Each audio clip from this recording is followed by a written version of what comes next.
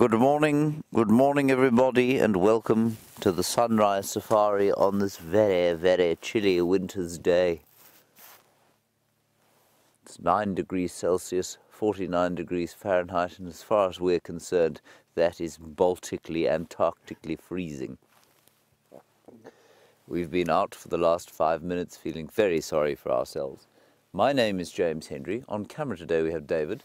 David has got some spectacular gloves on his face, at least on his hands, and a large balaclava around his head, owing to the cold. On the other vehicle, Byron Serrao is driving around with Brian, who will have at least 47 jackets on today and probably an ice-coloured thumb this morning. Now, you're on a live safari if you're wondering who this fellow is blethering to you and from where in the world he's doing it. We're in the middle of the Kruger National Park, iconic wildlife area, and we're on a live safari for the next three hours and you're most welcome on the back of what is sometimes termed the largest safari vehicle in the world, which I suppose is quite a good uh, sort of uh, symbol for what we are. We're going to try and find a leopard this morning. There was one calling around here today, early this morning, just as the sort of light, the dawn turned a little bit grey. Please talk to us during the course of the next three hours. Hashtag Safari Live, questions at wildearth.tv. Your questions and comments, especially if they're amusing, will help us to have a bit of a giggle and warm up because it really does feel much colder than nine degrees out here. Right, so the leopard was calling down there. Let's ease down the road and see if we can find his tracks on the road. We might just find him walking straight towards us, which would be a wonderful bonus. Here we go. Like I say, you're in the Kruger in northeastern South Africa. And we're on a little place called Djuma, which is a piece of the Sabi Sand Game Reserve, which is a collection of privately owned farms here on the western fringes of the Greater Kruger National Park. So between us and the Mozambican border, about 60 kilometers of wildlife land, the park extends into Mozambique to the east and north into Zimbabwe. And together they make up three and a half million hectares of land, or eight and a half million acres. I'm just going to look at something here that looks Just check the road and see if there are any tracks here going down. Roads, of course, often major arterial routes for territory marking cats, like leopards or lions. They often use roads or very obvious game paths, quite unlike their more timid counterparts, the cheetah, which will normally cross a road and just sort of skulk through the bush, hoping to be avoided or hoping to avoid. Let's go down this way. We might be very lucky. Go ahead, Lex. I'm just going to talk on the radio to Lex quickly. He's the one who heard the leopard. Lex, nothing yet. I'm just turned on to Central from um, Mvubu Road. All right, let's head across to Byron, and get an update from him and his plans for the morning. I'll keep you posted what happens here.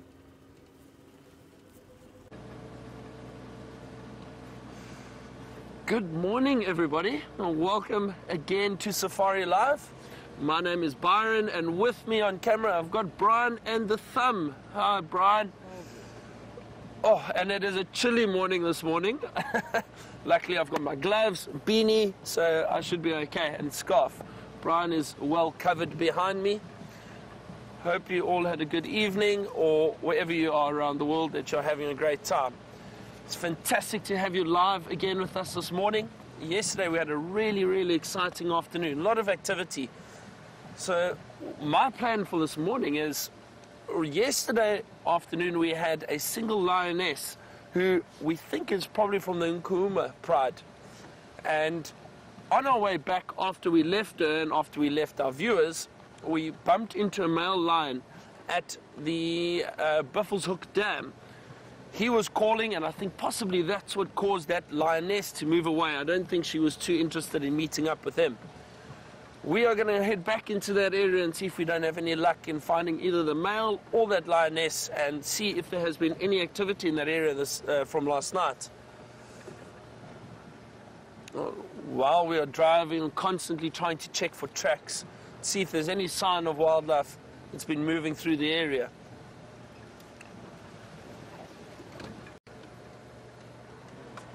Hope all of you enjoyed our Facebook session last night, our live Facebook session. Um, I thoroughly did. It was my first one. It was nice to sit with James and, and Brian, have a bit of banter around the camp, and, uh, and answer some of your questions. Hopefully, we have another one before I leave in the next week.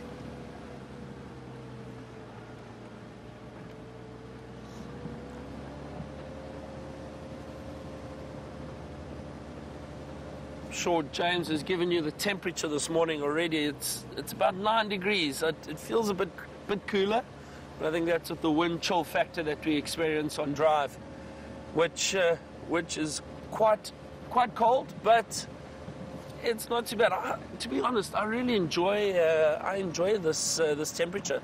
Winter for me in the bush is fantastic. Uh, animals move around a little bit longer during the day because it's much cooler. They don't go and hide in the shade of trees. Uh, just have a look here.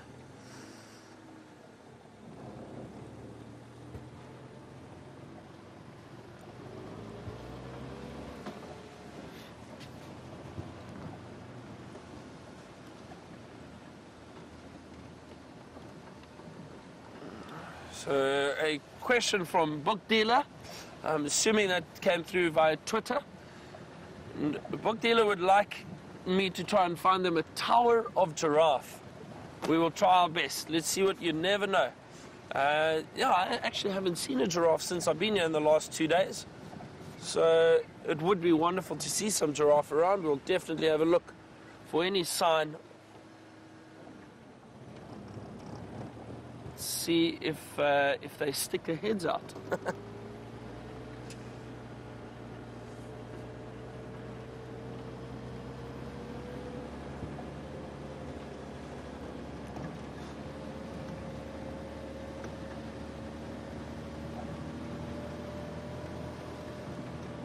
Thank you again to everyone for the wonderful comments and and um, and all the support from all the viewers. It was it's fantastic to to hear that you're all enjoying it. I'm really enjoying being with you. Uh, this is a very new concept for me, but it's it's amazing, and to be able to take so many viewers around the world on a live safari is incredible.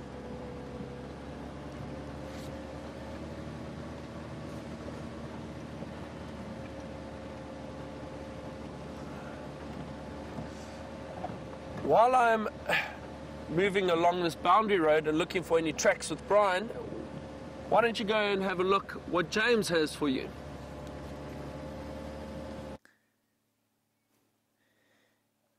We will be stopping this morning at absolutely everything that has a heartbeat until the sun is warming my face and David's face, which is covered with a very sort of modern balaclava. There are some impala. You can see that they are not too having any kind of central heating. I mean, our rooms have, uh, they're not even insulated, and that's not a problem out here. It's absolutely fine. And so we don't heat our rooms, we just put a blankie over ourselves. And if it's very cold at night, um, no, you know, even if it's very cold at night, a blanket and a, and a duvet is perfectly sufficient. Unless you're David, in which case you have a very large portable air conditioning unit and the room pumped up to 85 degrees Fahrenheit. With a, with a roommate hanging out of the window going, It is better than being cold, David. I agree with you.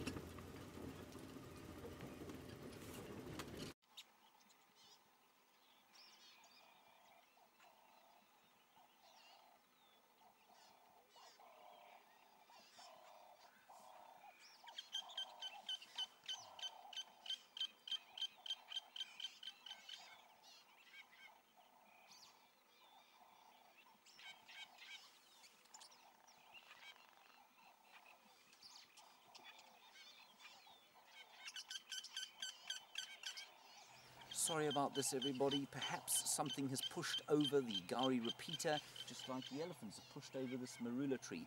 Our technical team is rushing around madly trying to fix it, and we'll be back with you as soon as we can.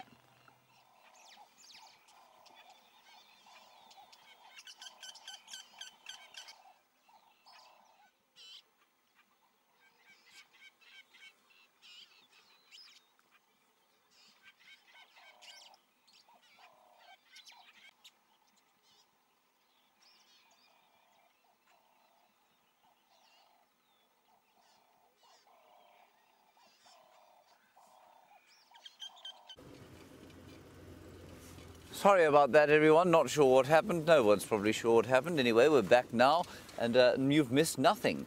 I'm hoping to show you a bit of the pinkening sky. It looks very pretty indeed, and I think we're probably in for one of those glorious low-felt winter days with deep blue skies and pleasant warmth during the middle of the day. Let us find a spot, David, where we might reveal the African sunrise, which is always so very marvelous, even when it is a little bit chilly. There it is, everyone.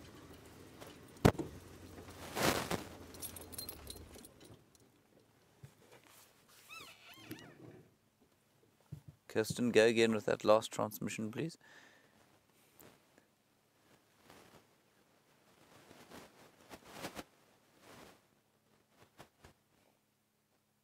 There we are. Is that not very pretty indeed?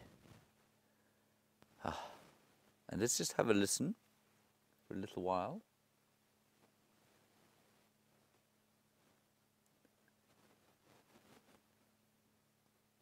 Very quiet dawn chorus today. One oriole to the left.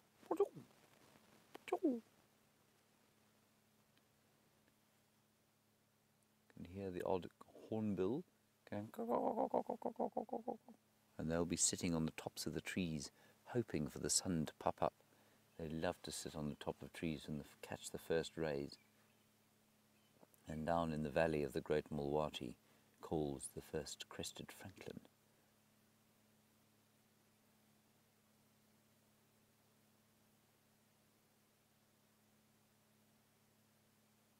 Very, very pleasant sound, I must say. It's so peaceful. Perfect Saturday morning. All right, Darby, let's drive gently along. No leopard tracks yet. We might be lucky, we might not. We never know what's going to be around the next corner, as the Safari Live cliche goes. But it really is very true. All right, let's go back to Byron, get an update from him. He's sort of heading towards the north like that, and we'll catch up with you shortly.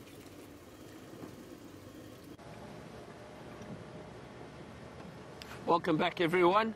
So, uh, Brian and I have been driving around looking for any sign of lions from the or that we had for yesterday afternoon. We had tracks of a, a single lioness, possibly that lioness we had at uh, the Buffelshoek Dam last night, but they unfortunately have crossed our boundary and headed further north onto Buffelshoek. But I still ha- I haven't seen any tracks of the, the males around. So there's a, a, very good chance that they could still be in this area. We're having a good look, and uh, we're heading towards Buffelshoek Dam now. It's still very, very cool, and it is still quite early. So often in the in the colder conditions, I've found in the past, predators, even though they are more active in the early mornings, they will go and lie down a little bit and wait for a little bit later in the morning, and then start moving again. You know, they've probably been moving around quite a lot during the evening. Uh, You know, I often think we, we miss so much at night.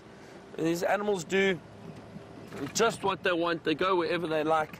And, uh, and I think we, we don't really get to see all the, the behavior that we, we hear about or read about because they do most of it in the middle of the evening.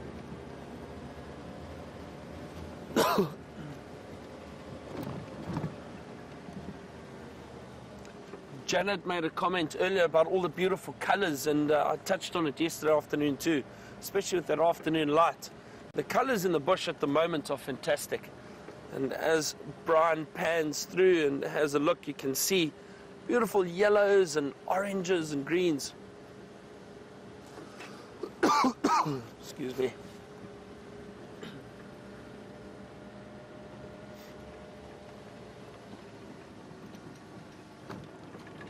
And that's what I love about doing this too is we can always appreciate other things that are going on around and, and not just the wildlife.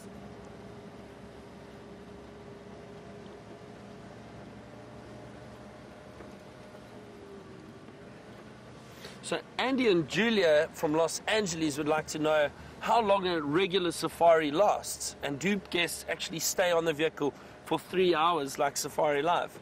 Andy and Julia, yes, there's, there's no set time for a safari, um, but generally it's between three and four hours long. That I would say is an average time for a safari. Most places, though, it also all depends on what you're seeing and how the morning or afternoon is going. It could be a bit shorter, it could be a, long, a, a bit longer, but, um, but generally it's between three and four hours. And time flies while you're driving around through the bush. We would also do uh, short little stops and get the guests out to stretch their legs a little bit. Uh, in the mornings, we stop and do a tea or coffee break. You get a nice hot cup of coffee and a rusk or a um, or a, a, a, biscuit, just something to, to keep keep you going until breakfast. I seem to have something in my throat this morning.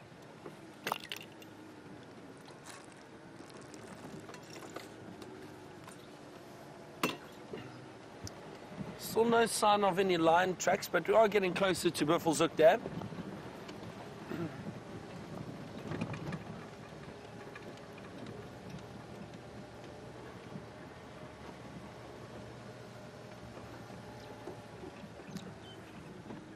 This takes some getting used to, the driving and looking for tracks and looking for animals. Um, I've done a lot of tracking in, uh, in my time as a guide, but in a lot of places that I've worked at in the past, we, we drive with trackers, and a tracker and guide relationship is so important. And it, um, it makes it a lot easier for the guide. The guide is there to interpret the bush to the guests, and the tracker is there to help spot and then find tracks while you're driving. So it does make it much easier. But this is a new challenge, and it's fun and it's exciting. Back at Buffelshoek Dam, so last night this lioness walked up the road in that direction that we just came from. And the male came through and lay on the dam wall, exactly where that lioness was laying just before. So he must have heard exactly where she was calling from and went and investigated to see if she was around. Let's just have a good look around here, see if there are any tracks. I wouldn't be surprised if he decided to follow her. Okay, so here are the lioness tracks from last night.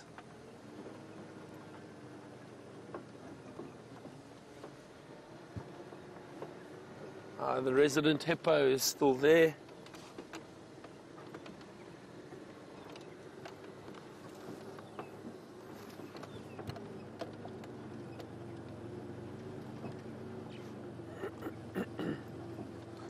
So Shamson has asked about the lioness which we saw last night and whether or not I think she possibly headed to a den.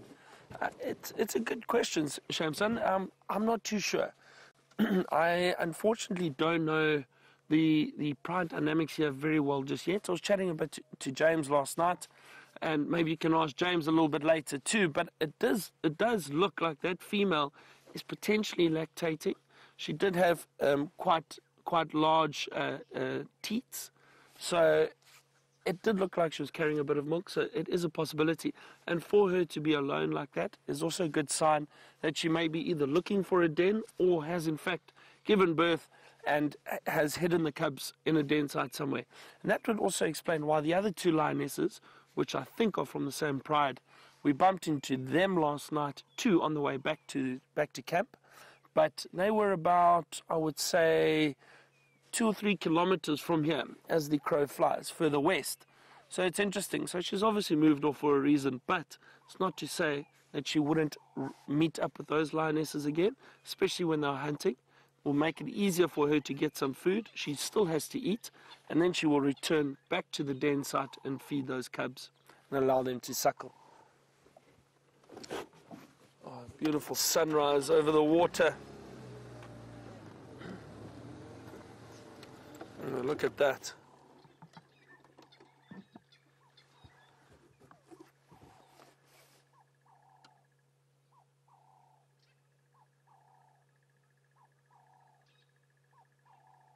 doves calling in the background. Oh, wow, amazing.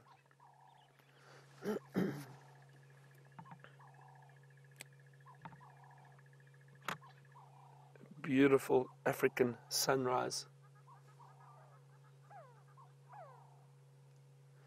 So, as you can see, we have a very, very difficult job. um, I could think of of worse offices to be sitting in right now.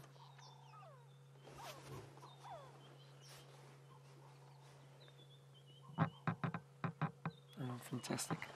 Really beautiful. It also helps to sit and listen for a while in places like this. Maybe pick up on alarm calls or predators calling. Again, still nice and early, so you might still get quite a bit of activity from them. And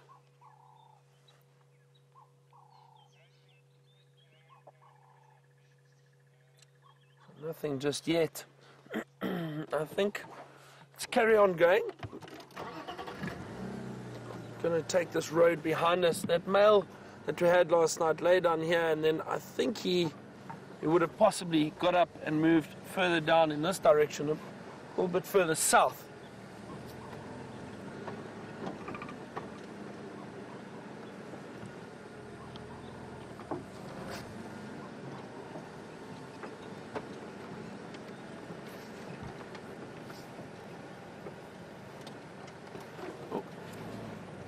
um, you know, I only see tracks of that lioness at the moment, which we had that walked past us. I don't see tracks of the male coming through there. Maybe uh, tracks of other lions here.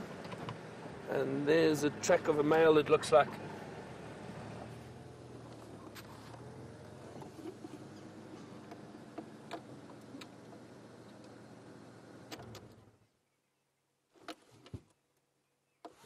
It's always difficult. You've got to really have a good look around and see uh, and see um, what what uh, what activity has happened which direction they're going. While I have a look at these tracks, head over to James, get an update from him, and we'll see you shortly.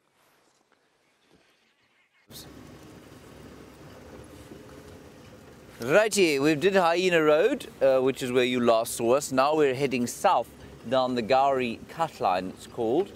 And we're just trying, still trying to find tracks of the leopard that was calling this morning. Haven't found anything here. So what I'm going to do is just do one last squiz through this area and then we're going to head towards the hyena den and see if we can't catch the little ones coming out to warm themselves in the early morning sun. That would be very nice indeed. We did see a couple of hornbills, predictably sitting on the top of a tree waiting for the first rays. And the first rays there, you'll see them catching my face now. Yeah, it's very nice. Not quite warm yet, but they'll get there. I think we're in for a delightful day.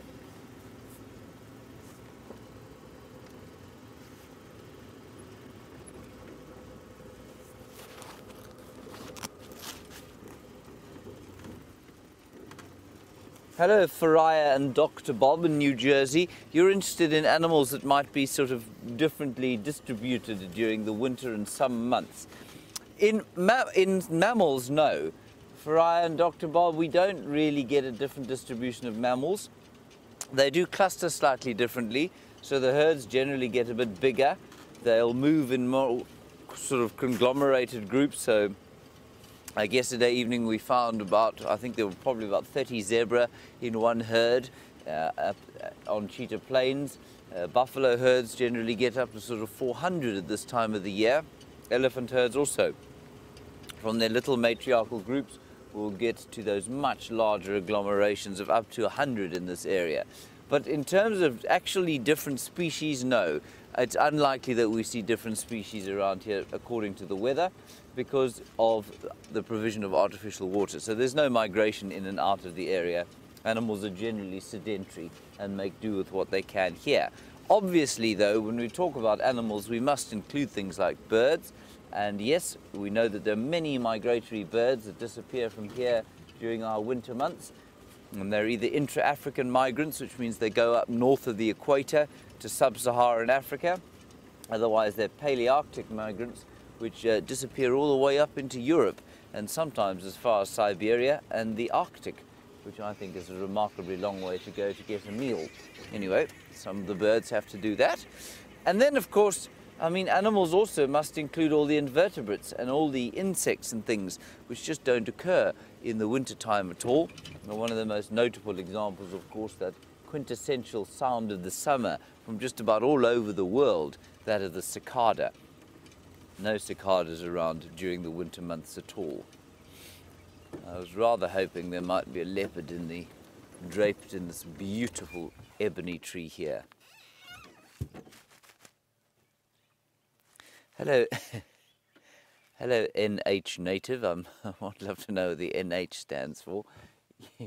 As we sit here complaining bitterly about the cold, and you can see the con- condensation coming out of my mouth as I brave the cold here. Um, you want to know how long our winter season lasts? Not very long. Um, May is just a beautiful month. June's coldish. July is coldish like this after July, it's warm again. So while the dry season lasts much longer, the dry season will last from sort of May to often the end of October, which is a long time. And the actual coldness only persists probably for two months. And it really, it's not that cold at all. Um, it's very pleasant in the middle of the day.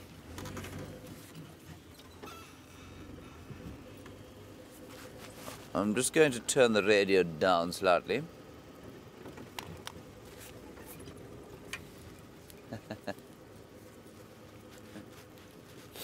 and Shamsan, you were obviously watching yesterday afternoon when we stopped to look at a Melba finch,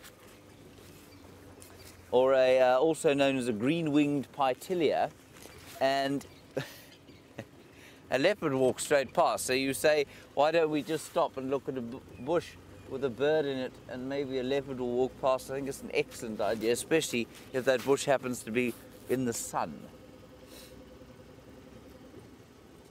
Oh, there's some lovely big earth moving equipment. That's fun to see. Um, these are about to be used to modify the Djuma Dam onto which the Djuma Dam cam looks. But unfortunately, one of their colleagues the third member of their of their team is uh, now stricken on the Buffalo cut line. It's lost something, some piece of its deeply complicated mechanics, and so these chaps are having the weekend off. Morning, fellows.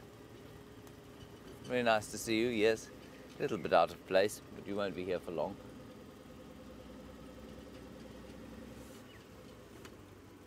Now, Lex thought he heard the leopard heading this way, and I've yet to see any further tracks. So let's go to the hyena den and let's see what we can find there. Just keep an eye on the Djuma Dam cam over the course of the morning. Leopard might pitch up there for a little bit of a, you know, a morning coffee, if you like.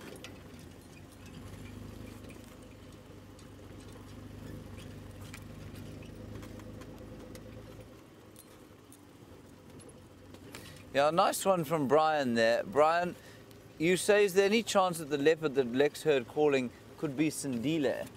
Um, now, for those of you who don't know, Sindile is a 20 year old male leopard who's just come back to the area uh, after an extended period in rehab for rabies. He's fine. He's, he is too young, Ryan. You're absolutely correct. You say, could he be calling? No, it's highly unlikely that a leopard of two years old is going to be calling. And if he is, he's going to get himself into trouble because the dominant male of the area, who at the moment is Tingana, if he hears that leopard calling and sort of asserting himself and marking territory, then he'll definitely come and give him a hiding.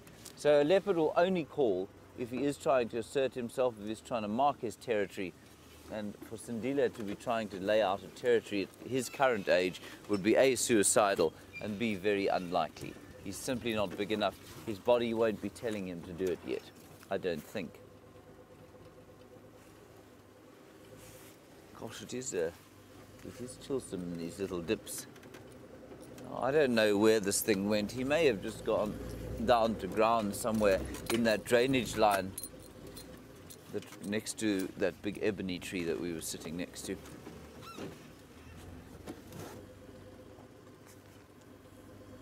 But otherwise, everything is out hiding. Let's see if we can make some success with the hyenas. I can see many hyena tracks going back towards their little home, which is not too far up the road from here. So, with any luck, they'll all be frolicking about. What was that? Did you get that? Go to Brian. Okay. Um, apparently, we're going to go ba- back across to Byron for an update as we go through this rather difficult section. We'll see you at the hyena den.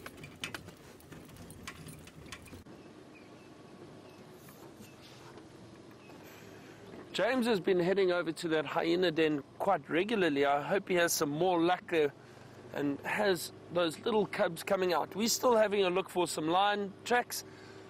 Had some male tracks at the at the Buffelshoek Dam. Try to follow them. It seems like they cut through a block south from the dam. Now we are just driving around to see if we get any sign of them coming out. Tracking is uh, is not always easy, and you really need to know what you're doing. It is a fine, fine art.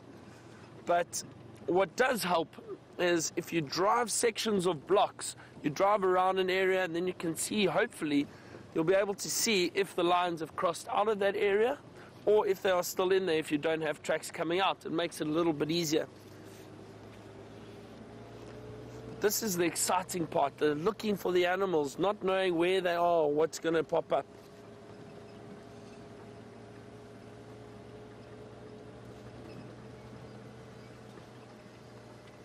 So Shamsan has asked us about whether or not, if you go to a safari lodge um, on safari as a guest, do they take you on, on drives out through the day and also on bushwalks and tracking?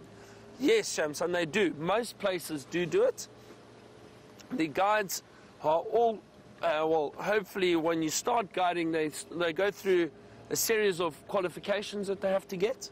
And once you have quite a bit of experience, you're able to walk guests in a big five area like we are in at the moment. Um, someone like Stefan, who does a lot of walking, is a, is a good example. He's got all the right qualifications and uh, he is able to take guests on walks. I do the same. James can do it. So if we do guide guests at other lodges, then uh, we definitely do bush walks with them. It's a great way to get out, stretch the legs. You see and hear a lot of the stuff that you miss occasionally from the vehicle. Look at the smaller things. You never know. You can also bump into some of the bigger wildlife while on foot, which is very exciting.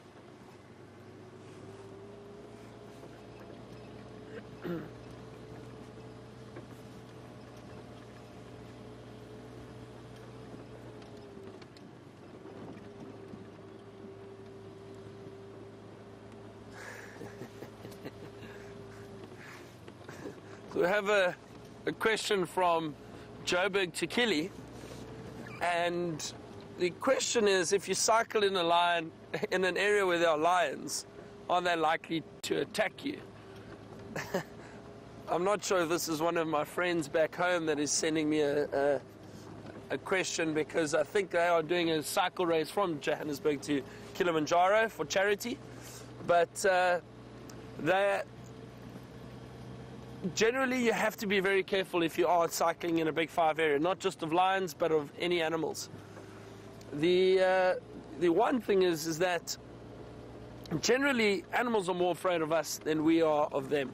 But when you're on a bicycle and if you do cycle in an area where there are where there is wildlife, you've got to be very very careful because you can sneak up on them. They wouldn't necessarily hear you as much as they would if you were walking. You'd make far more noise walking than you do on a bicycle.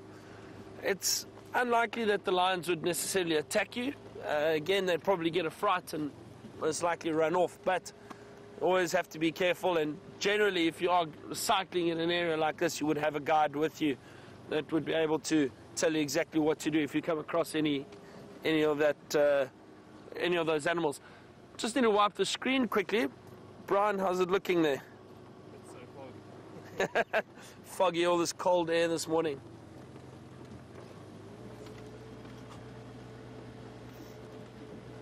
How's the thumb this morning, Brian, handling the cold? It's, it's falling off, it's so cold.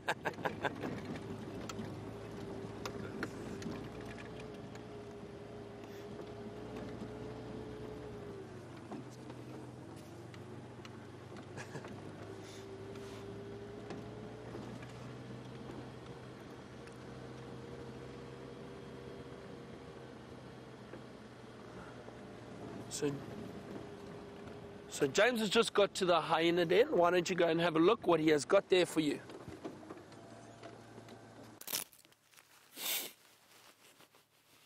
Unsurprisingly, a hyena at the hyena den, but quite surprisingly, only one hyena at the hyena den. No doubt her two little babies are just inside there.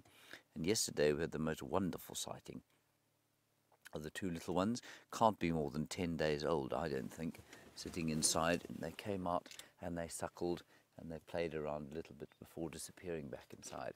We also had one of what I think was the January babies knocking about. I don't know where the other one is.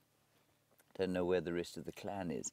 And the fact that they're not here, and the fact that those youngsters are not here, tells me that I'm just not convinced that this is actually where everyone's hanging out at the moment. I think there might be a third den, possibly behind us in that drainage system, between here and the one that's on um, Gallagher Shortcut. She's definitely low ranking. She's given birth here.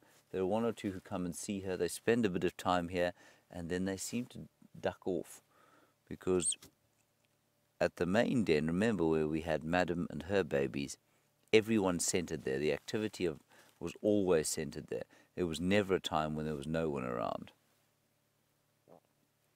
So I'm not convinced that this is the main den yet. I think she's still lurking around here because her babies are a little bit young to introduce to the rest of the clan. I think it's going to be worth our while to sit here just for the next five minutes or so, see what happens, see if anything pops out. If it doesn't, we'll continue. But at the moment, no other prospects, so I think a good idea to just sit here for a while. Never a bad thing in the bush to sit and be quiet, or not be quiet, but to sit and just wait. Something always walks past, and it's one of the reasons animals like this hyena, although she's sleeping now, will seldom sleep soundly.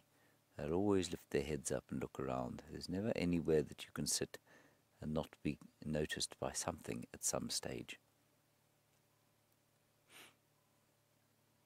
Although she doesn't seem to be that panicked by life at the moment, does she, David?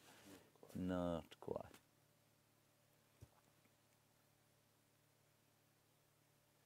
So at the moment, we know that the clan consists of at least 16 adults or so, and we also know that there are two December babies, two from last year, two January babies from this year, a November baby from last year, and a couple of June babies, no, one June baby as well from last year. Now, they would all, in theory, the June baby now moving with the clan, so wouldn't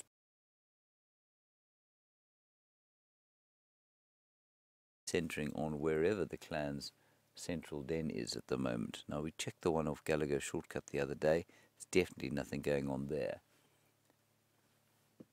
So it's difficult to say what's going on.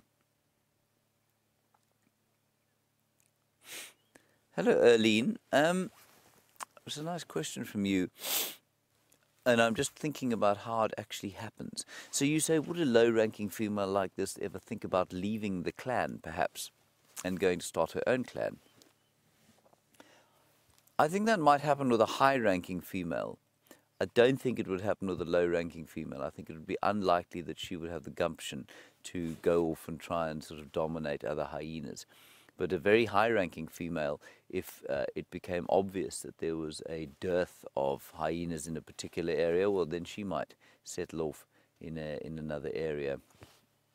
I think you'd find what would happen is, let's say, um, Let's use, for example, that the this this clan of hyenas um, was decimated by something, right? So they, they disappeared. This territory became immediately empty, and the very large clan of hyenas that lives on Elephant Plains and occupies Arathusa. Let's pretend then that they will then there's an opportunity for them to spread. I think it's quite likely that uh, one of the high-ranking females there might sort of go foraging, or the, one of the males might come foraging here, find that there was no one around, um, and they'd slowly spread into this area. And you'd find that once the territory got big enough, the clan would split, and one of the dominant females in that clan would take over as the matriarch of a new clan. I think that's probably how it would happen, far more than a low-ranking female like this going away, simply because she doesn't uh, have the self-confidence, I don't believe.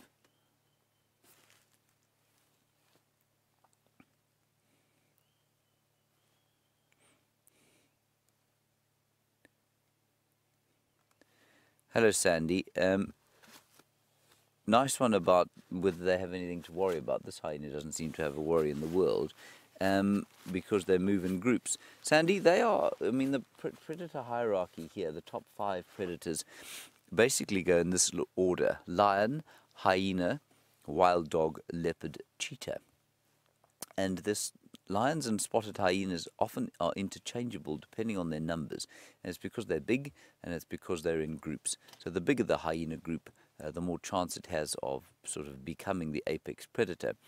And so they don't worry about a great deal. They absolutely worry about lions and they worry about other hyenas. Uh, this hyena would worry about a big male leopard that came wandering through here if it was found on its own. She would worry about it, but not to the extent that she would feel the need to run away. She may well um, turn and challenge a leopard because a leopard is on his own, so he's never going to take the chance. Even though he's much bigger than she is and he's stronger than she is, he's not going to take the chance of getting injured because he doesn't live in a group. And that passes on to the next part of your question. They always seem to be stealing food from everyone else, you say. They don't actually steal food from everyone else all the time. They do a huge amount of hunting um, especially in East Africa. Not so much here, they do scavenge quite a lot here. Something's coming. Another hyena. Wonderful. Here we go. Let's see who this is.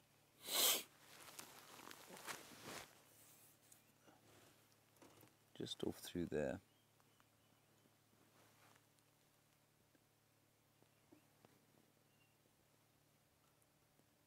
This looks like the young hyena that's been lying out away from the den every time we've come in here. See if they greet each other and how fondly they greet each other.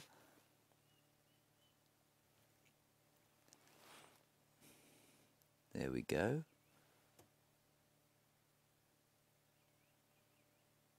Approaching very cautiously.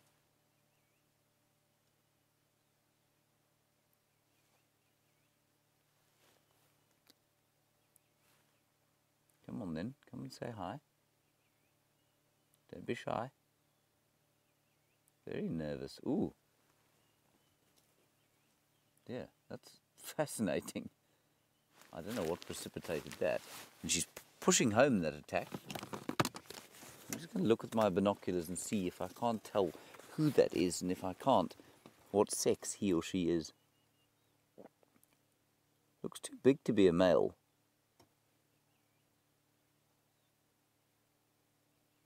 But definitely not flavour of the month, and our mother is very unhappy to see him.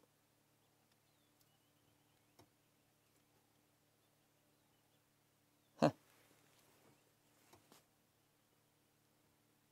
very interesting. I couldn't begin to tell you what happened there. They're still round the corner, just out in the sun. And I don't know I mean, nothing's going to come out of the den now. We might just try and sneak around the corner there and see what's going on. Let's try that.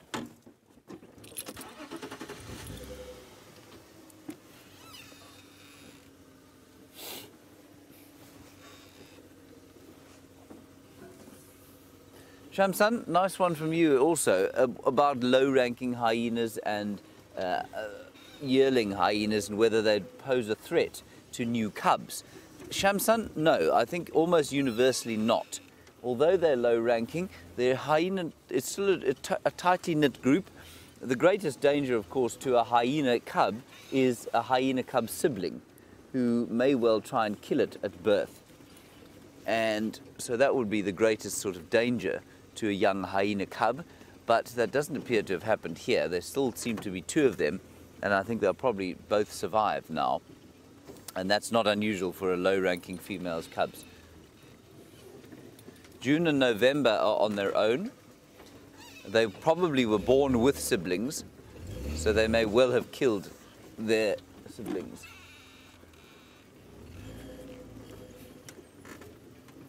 Sorry, John, I missed your question. I was waffling on about last question.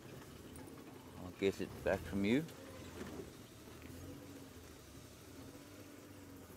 Uh, you say, does it would a low-ranking female's youngsters automatically become low-ranking? Yes, they do automatically become low-ranking. It's precisely what happens, John. The the clan hierarchy is maintained very violently and very definitely. We're going to wait here. The hyenas are just up ahead. Looks like the mother wants to come back here. And just, sorry, Dave, just look over there. It's a crested francolin about to go down into the hole where the little cubs are. That's where the little cubs are.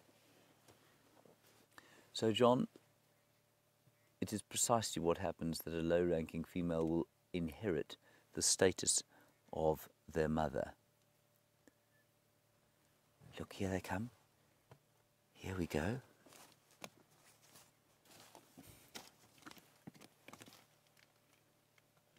Just looking at Dave's balaclava. Looks like a criminal, so she's a bit nervous.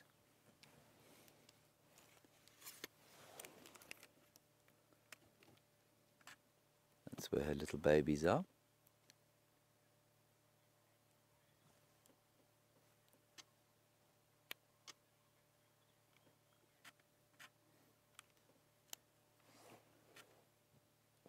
And the other one is now coming down the right hand side of the car over there.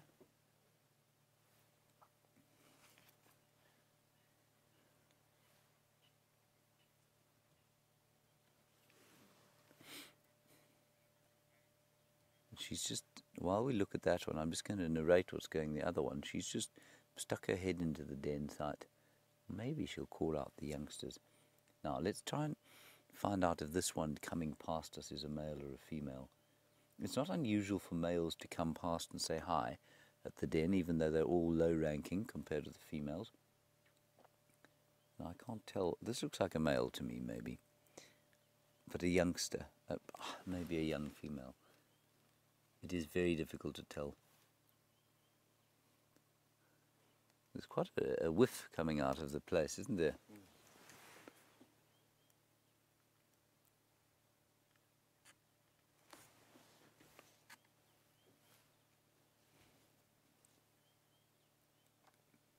Ah, thank you, Cla- Chris Rogue.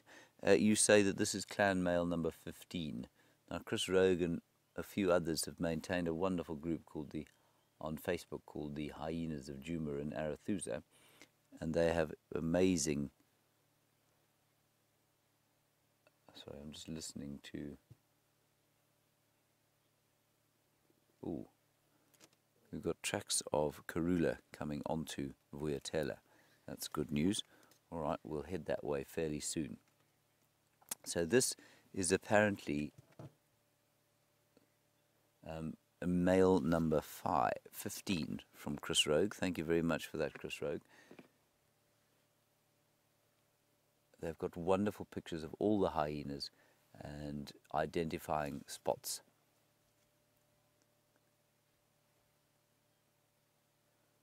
Also known as tsaka which means happy basically, or sort of.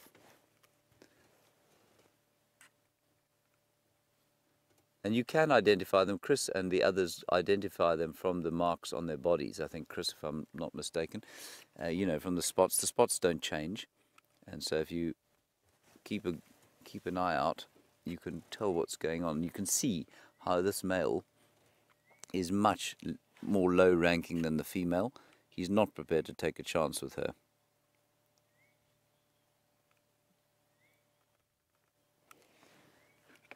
Lex, I'm going to head down that way as well. Uh, I'll come give you a hand.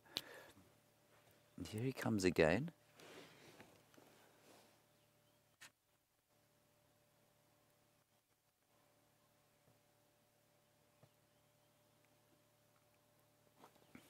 Look, look, look, look, look. Not happy to have him around. Now, I, look, I, I guess infanticide is a, a possibility. It's not impossible that there could be some form of infanticide where he might um, he might think about killing the cubs because she's low ranking. I think it's highly unlikely though, and you can see how she is so much larger than he is.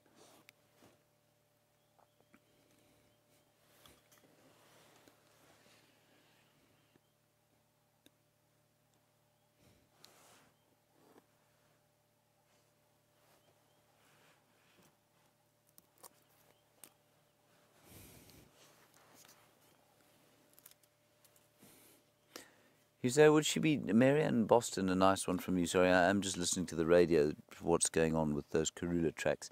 You say, would a low-ranking female leave the den to forage? She has to leave the den to forage, and her youngsters would remain safe inside on their little shelf inside the burrow. There, she has to go off, and she has to go and um, forage on her own, and she will do so frequently. And you can see she's got a very full belly, so she's been successful over the last few evenings, I think.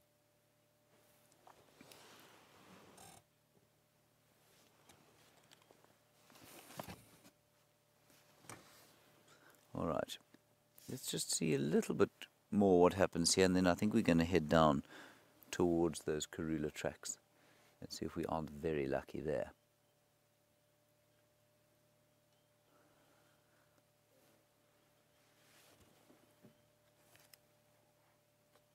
There she's settling down again. The male is still there. I can still see him.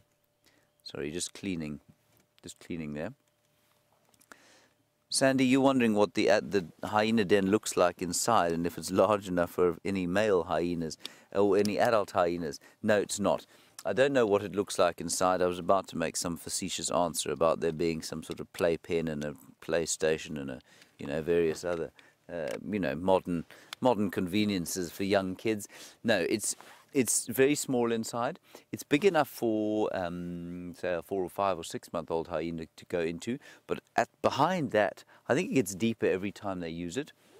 Behind that, the little ones will dig a shelf for themselves to, to sit on, and so very small in, at the back of the den where the little ones are safe. All right, let's go backwards. Um, we'll just have one last look, and then we're going to head down towards the south and see if we can't. Oh, quickly, sorry, Dave, just look on that branch over there. Look at those wonderful crested francolins just sitting, enjoying the early morning light.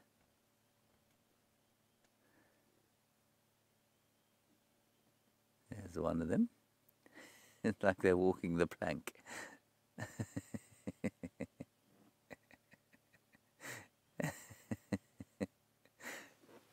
I think they're so great, those birds.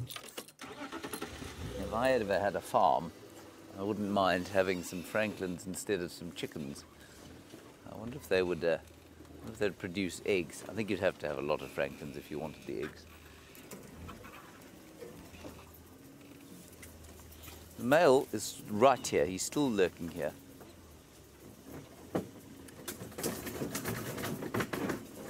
Unfortunately, we just ran over a very large tree and the male got a bit of a fright.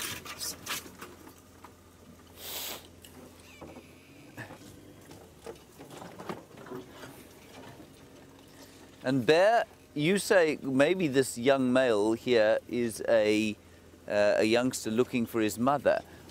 I don't think he's that young, um, but he's certainly not, he's not old, and you can tell that from his condition. He's in good condition, he isn't beaten up, and any hyena, once they reach adult or full adulthood or, you know, close to the end of their life, is going to have mangled ears and beaten up feet, because they do fight each other quite a lot.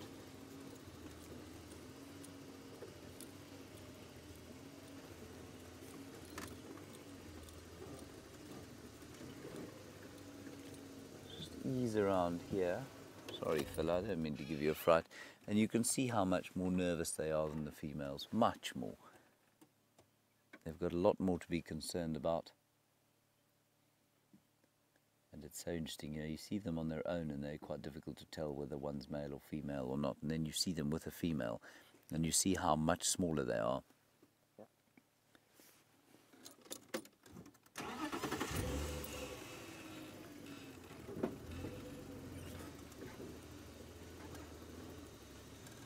He doesn't want us to be sandwiched between us and that rather nasty female. So although she's low ranking, you can see here how she is completely outranks any male.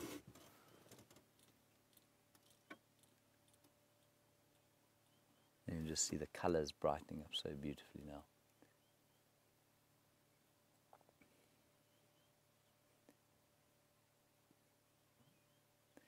All right, everyone, I think we're going to leave the den now while the Mrs. Hyena goes popping down into in there, snoozing. Her youngsters might come out a bit later. This male, I think, will probably find some shade eventually and lie down in that, but some sun initially. But while he does that, let's head down, I think, towards where Karula's tracks have crossed onto Djuma. We'd really like to see her again. So let's, while we do that, head across to Byron. I know he's heading towards quite an exciting sighting, and let's get an update from him.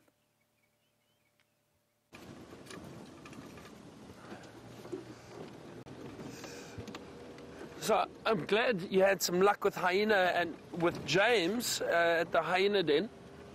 We've got an interesting sighting. So Brian and I were sitting around trying to work out where these lionesses and lions have gone, and uh, we had tracks heading much further south. It sounds like somebody just found two lionesses that are feeding on something. we also had some impala alarm calling we went, we checked around, had a look in the area, but um, but we didn't have any luck. No sign of anything around there. So what we're going to try to do is get into this area where we think those lionesses are, and see what they are up to.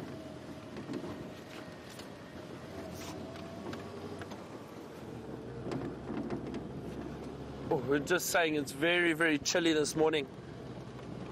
While we're driving around here, the temperature has dropped as the sun has started to rise, the temperature dropped even further.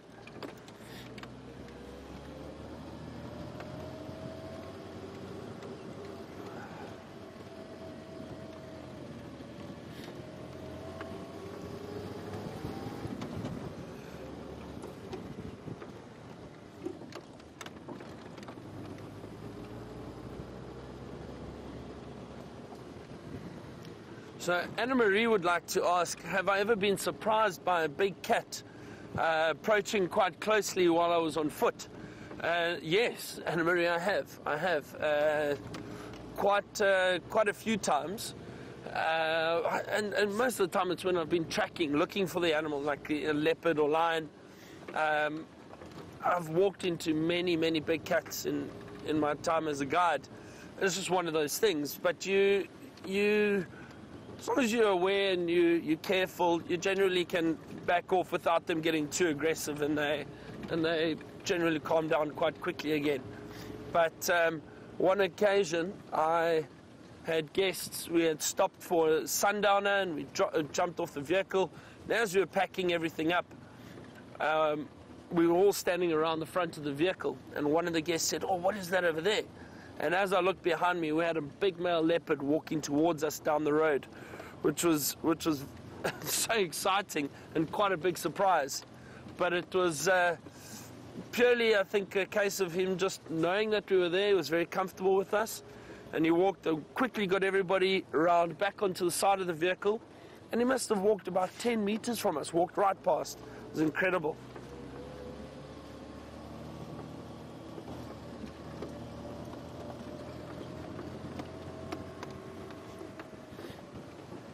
Getting closer to that area where we think these lions are.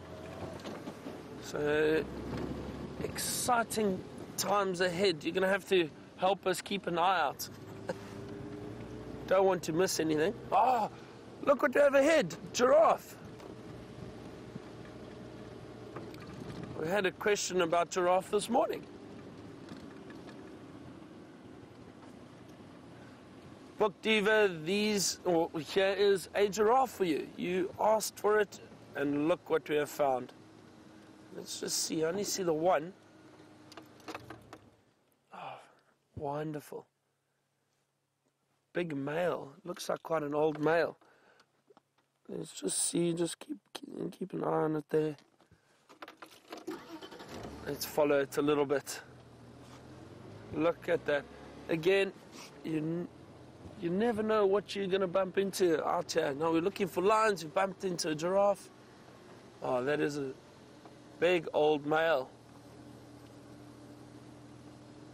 Wonderful. Look at that.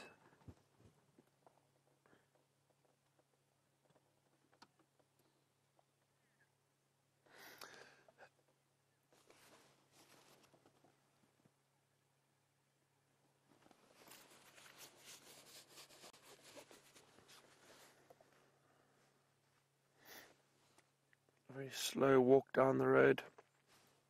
Now, some of you might be wondering, how did I know that that is a male so quickly? Just from seeing it stick its head out and turn and walk onto the road.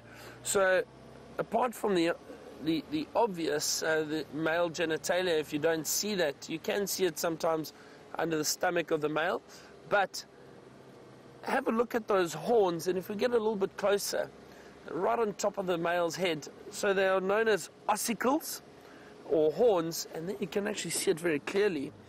These horns of the male, do you see how bald they are on top?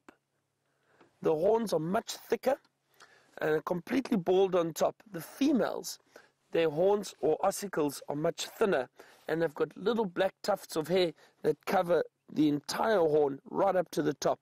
And you can see that very, very easily if you do see a male and female giraffe, if you can just see the head. So it's quite easy to tell if it's male or female just by looking at that. Also, this is a very big giraffe. This is a nice old male. He does seem a little bit darker, and that tends to be either a genetic thing or with age. The older giraffe tend to become a little bit darker, but it can also be genetic or area specific. Some giraffe in certain areas might be a little bit lighter than others. We only have the southern giraffe in southern Africa, but up in Kenya, Tanzania, you get a lot more species of giraffe up there. Different species. And look at that. Look, see, he's missing a bit of his tail. That could be a number of things. But often what happens with giraffe is they get a lot of ticks that sit on them and pester them. And occasionally the ticks can be so bad they cause an infection. And I've seen it a few times on the tails of giraffe. And the tips of the tails end up falling off. In other instances, or you could have um, lions trying to trying to hunt a giraffe, maybe when they're a little bit younger. Look at that beautiful giraffe! Wow. And occasionally, lions try and hunt giraffe and might grab a tail and pull off a piece, but I think in this case it's possibly due to the ticks. You can see clearly again that this is an older giraffe. It's got a lot of calcification on the on the uh, on the head. Can you see those those lumps or knobs around the head? It's, that's from also a good sign of age. Calcification builds up around the skull of the giraffe. Zoe from Australia has asked us, how big is a giraffe compared to an elephant? So Zoe, an elephant can get to about sorry, Joey, Joey from Australia. Joey asked how big a giraffe is compared to an elephant. Now, height wise, a giraffe is much taller. A giraffe will get to about six meters, and I'm almost certain that this big male is about that size. Whereas an elephant, a big male elephant, will probably get to about, uh, it's, I'd say, three meters, three, three to maybe a really big male, four meters, but, but on average, two to three meters tall. He's just hiding in the bushes. Well, that was a really great surprise. Let's carry on looking for our lions. We're not too far from the area that I think they're in. So let's keep a lookout. But really great to see this big male giraffe walk past us. There he goes. Fantastic. All right, let's keep a lookout for these lions and see what they have got for us. Very excited about this. I think we're in for a treat.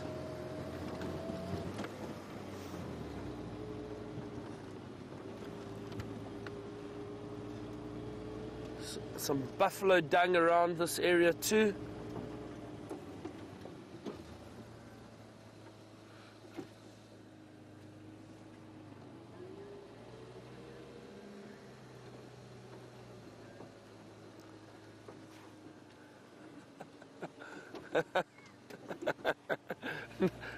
Naomi from Pretoria has seen me touching the side of the, the steering wheel or the indicator and asked if I'm using my indicator. I'm not. It's, it's, it is a habit, Naomi. I've, I've put my hand on there a few times and thought, wait, I don't need to use it. No, so I don't use it in the bush. We don't have to. Um, but it's, it's pure habits. It's from driving vehicles in the cities and, and so on. And uh, it just, I don't know why I did it. Brian's having a good chuckle at me now too.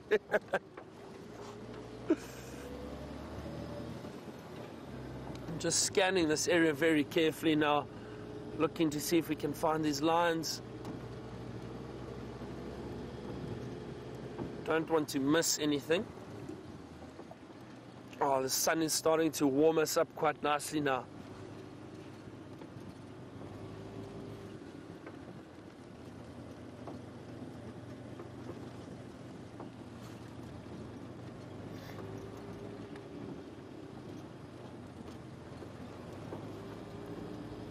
Okay. Still having a good look.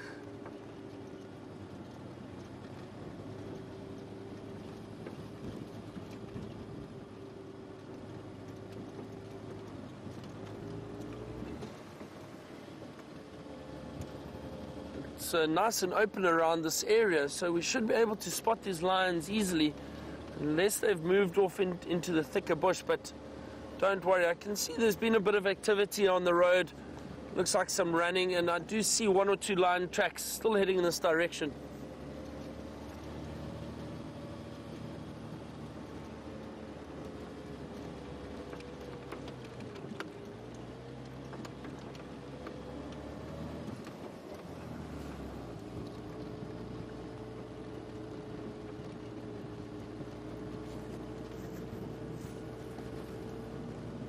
Have a look. Come on, where are these lions hiding?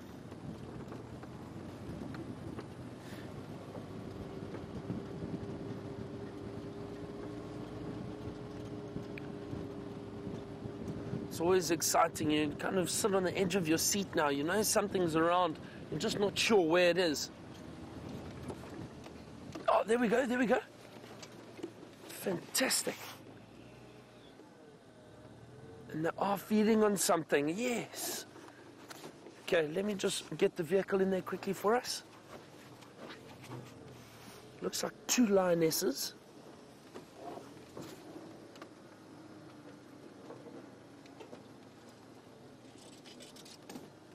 Here we go. Wow, they're feeding. Oh, they're feeding on a young buffalo. Remember, I said we actually had buffalo tracks back there. These look like these two lionesses that we bumped into last night on our way back to camp. Um, I'm not too sure, but I think this might be two lionesses from the Nkuhuma Pride. I hope I'm saying that correctly.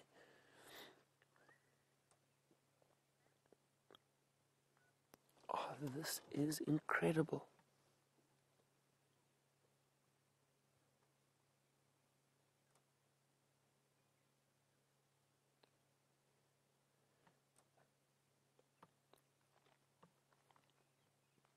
Now, watch closely while this lioness is feeding.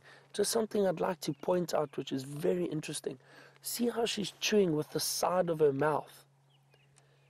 And she's tearing away at that meat. Now, lions and other big cats have something that is known as a carnassial shear. What that is, is the teeth the, in the back of the mouth, the molars and the premolars. Can see she's chewing there again using those, those teeth. They are slightly sharpened. They end in a sharpened edge and they overlap each other, almost like a scissor motion. And at the back of the jaw, that is obviously where all the very powerful muscles are in the, in the jaw. And they prefer chewing and tearing with those teeth. So that scissor motion with those very sharp teeth and the power allows them to tear and break, um, break the meat down very easily. So that is the carnassial shear. They will still use the front teeth to tear open carcasses, but have a look. You see she's chewing with the side of her mouth there. And the other side. Very interesting to see. Looks like the other lioness has eaten her full. There, Brian's focusing on her now. Look at that belly. That is a full stomach.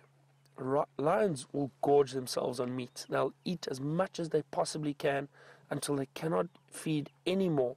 They will then go lie down and rest, just like this lioness is doing. And a little bit later, she'll probably get up and feed again. And they will constantly do that until there's nothing left of that kill. Once they've eaten everything or all the, the really good meat and there's not much left for them to feed on, they'll move off. And you might get other scavengers coming in, like hyena or potentially vultures, although this is a little little covered and it's not a really large kill. So I don't think you would get a lot of vulture activity here. But you will get hyena and probably a few jackal coming and scavenging off of the remains.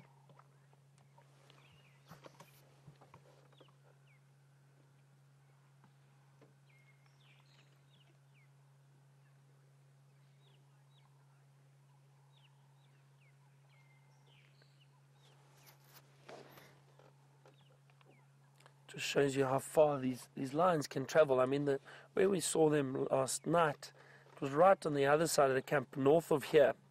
Um, we're kind of in the southern side of Djuma at the moment, and uh, south southwestern side, and they've travelled uh, good good four four kilometers, five kilometers. But they, they can cover a large distance in the evenings, especially, and that goes back to what I was saying earlier. You know, we don't really know how far these animals can travel, uh, only from what we track and find in the morning. But uh, in one evening, they can cover huge distances, very active, and especially they will try and hunt under the cover of darkness. Lions are also ambush predators, so they try to use use the evening to their advantage and sneak up on prey and, and stalk and hunt. And these lions have been successful.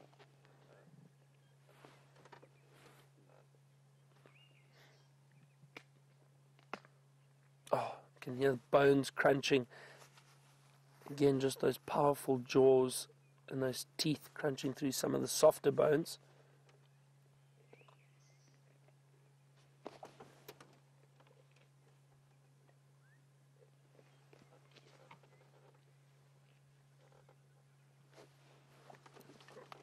Trying to have a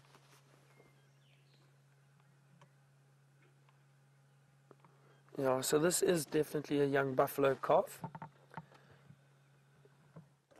So James was looking for Karula. Why don't you cross over to him and see if you've got any updates on that? And we will sit with the lions.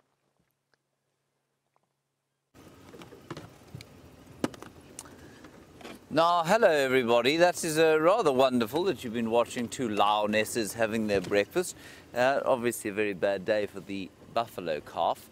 We've come down very far to the south now. We're actually not far from where you were watching the lioness with Byron and hoping to find tracks of Karula and her cubs. Now, there were reports of them coming onto the reserve. Lex has driven this area and he says he can't find any tracks and if Lex can't find tracks, I'm deeply suspicious of my ability to find them. So I wonder if somebody hasn't made a mistake. So we're just going to turn on to the southern boundary here. This is, of course, where we last saw little Sindile yesterday. Maybe he'll pop back and see if I can't find something here. And if you're wondering about the Birmingham boys, there are three of them now on Buffelshoek. They are eating also a buffalo, and they are with three lionesses, probably that we think of the Torchwood Pride. Now, I have never seen the Torchwood Pride, and their existence is something of a mystery to me, given that they're supposed to live on Torchwood, but that's basically in Kahuma Pride territory. Now, we'll keep an eye out on the road here very carefully. People would have driven up and down here.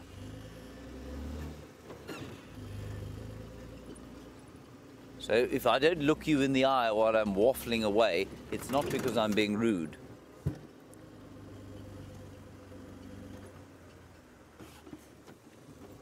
Sandy, very nice question. You were saying you're wondering if the wild dogs have come back into the area. Sandy, they did.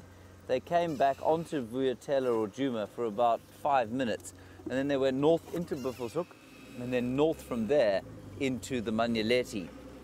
So they hung around for precisely five or ten minutes, which was obviously deeply irksome to us, but they're not around here anymore. I think they'll come back. I suspect it was a, um, a dispersal pack, simply because I'm pretty sure that the packs, the settled packs, will have given birth and denned now. And for them to be ranging that far, um, unless that maybe they've got a den in the Manyeleti and they just came down here for a sort of hunting foray, it's quite a long way for them to come. So maybe they're a dispersal pack.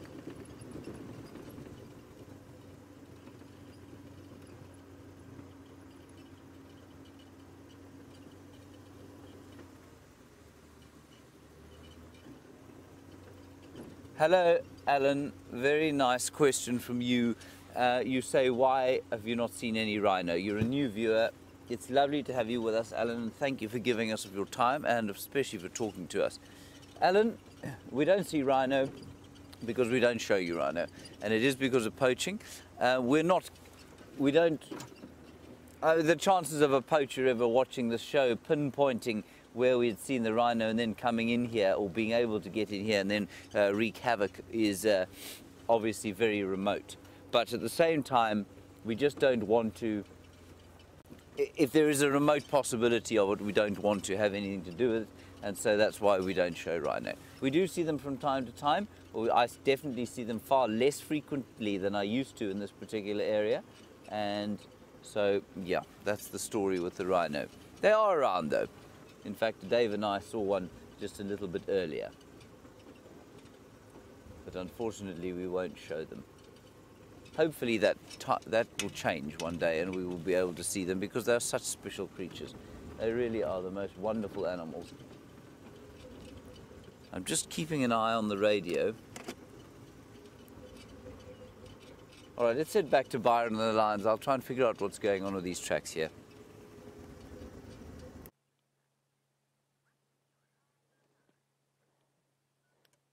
James hasn't had any luck yet with Karula, but as I always say, it's too soon to panic. We're still sitting with these two lionesses. I Just heard a sound in the distance, and this lioness also picked up her head and noticed that. Sounded almost like a buffalo. Uh, Don't hear anything again.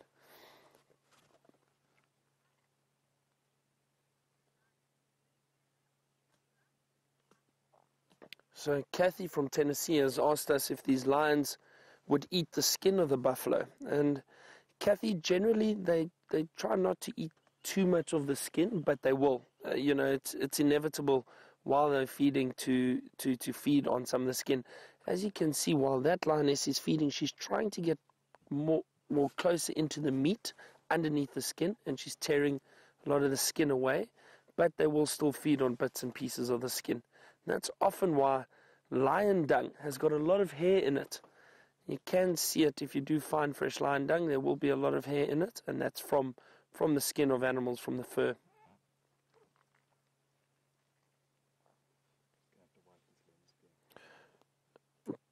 we're just going to have to wipe our lens again. Again, it's misting up a little bit as as the, the morning starts warming up. You start getting just a little bit of, bit of condensation. Is that correct, Brian?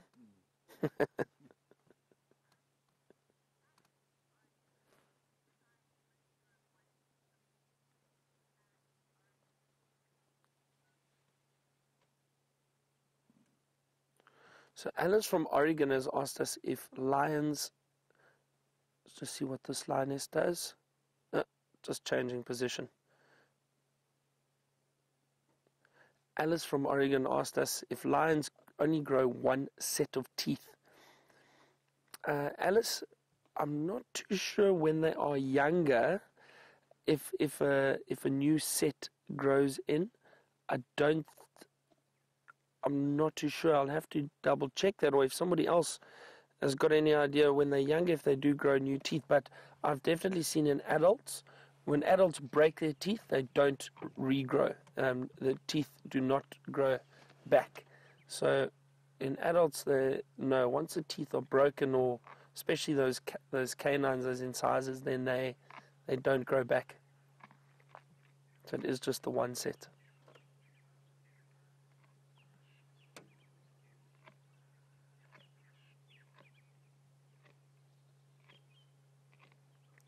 See that jaw working and those sharp teeth at the back of the mouth, cutting that meat. See how she's licking the kill? That's interesting. Now, one of the reasons why she would be licking a kill, the lion tongue is incredibly rough, very, very rough. They've got little, almost like barbs, very sharp um, little hairs on the on the tongue, and it's incredibly rough. It's it's almost like sandpaper. You can imagine with each lick, she's actually loosening some of the hair and also opening that carcass even more just by licking it. I mean, look how the, the fur is sticking to her tongue as she licks it.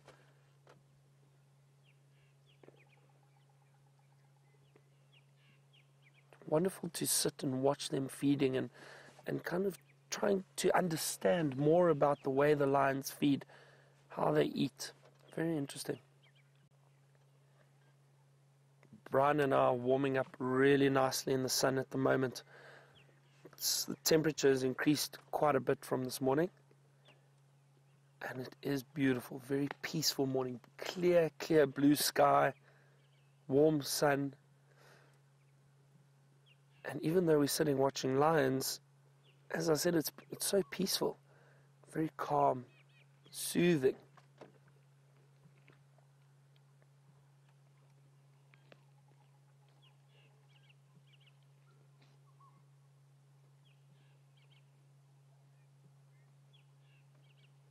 Look at that beautiful view that we've got around here at the moment.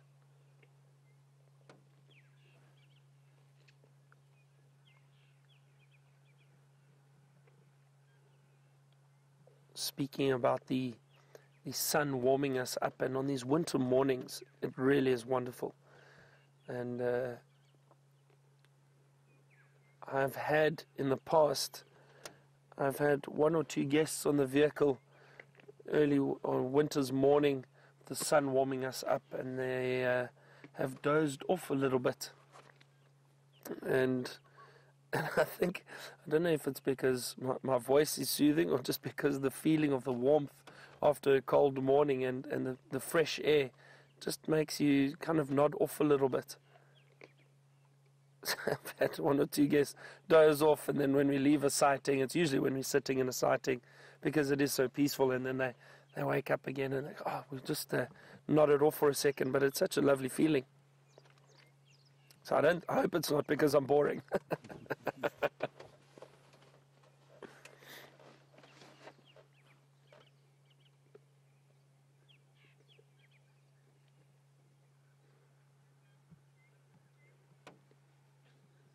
So Jim Butler has asked us how many species will benefit from this buffalo kill, this buffalo calf kill that the lions have made.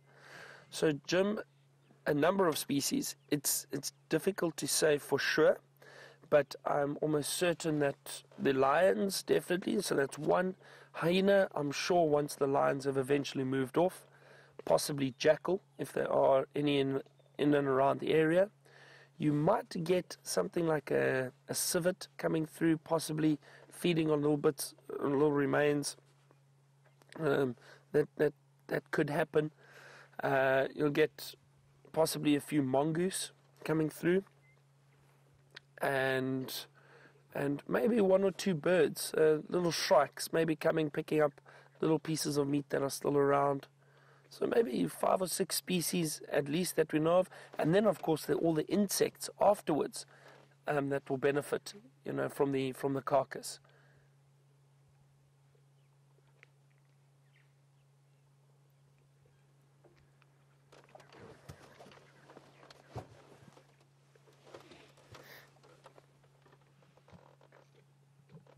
Still tearing away. That lioness is really enjoying that.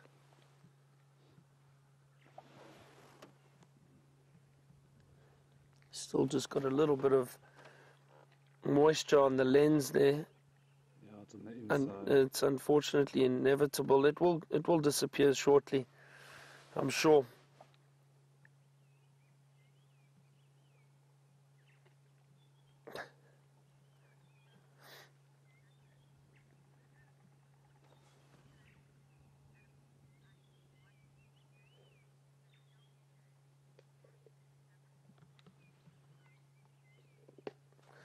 Pat in Tampa would like to know if animals in the bush age similarly to animals back home, like dogs or cats.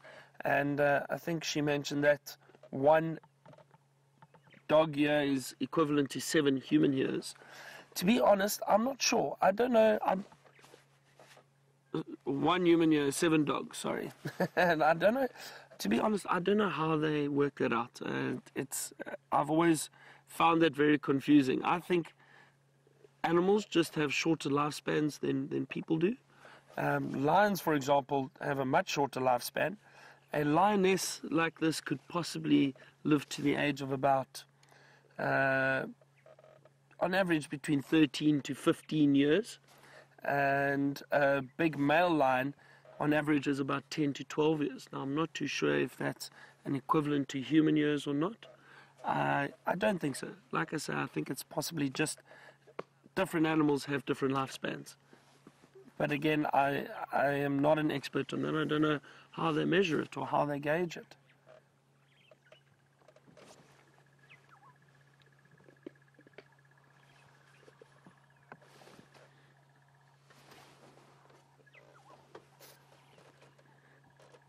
I need to open up the lens to get away this fog. I'm gonna have to just do it. Okay, so while Brian is quickly going to fix this lens for us, let's go across to James and get an update from him.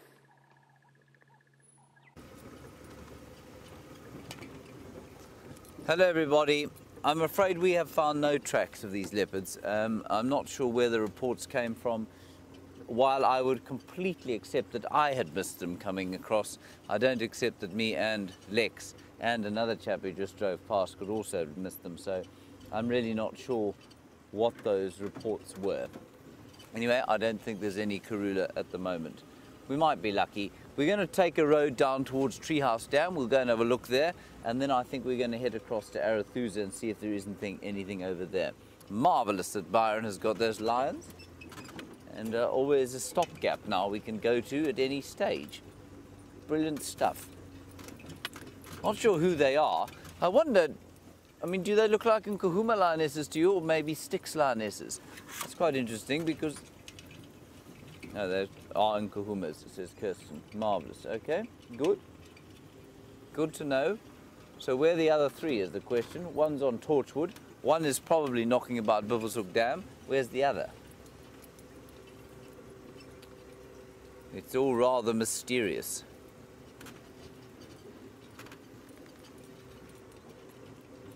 Lex also did have tracks of wild dogs heading down south uh, into Little Gari. So just about when I suppose when I was talking to you, um, just when I was talking to you, he was finding tracks, and they were going along the that main road that we were on, and unfortunately they did go south from there, which is a little bit sad, but it is the way of things. They do roam so very widely, the wild dogs. Otherwise, David and I have seen a buffalo, a living one, unlike the one you've seen today, which is dead. And we also saw a waterbuck. Well, I saw it. I'm not sure that David did. David's face is so trussed up with various warming implements that it wouldn't surprise me if he was entirely blind to the day going on around him. That was uh, not quite that he said there, through four layers.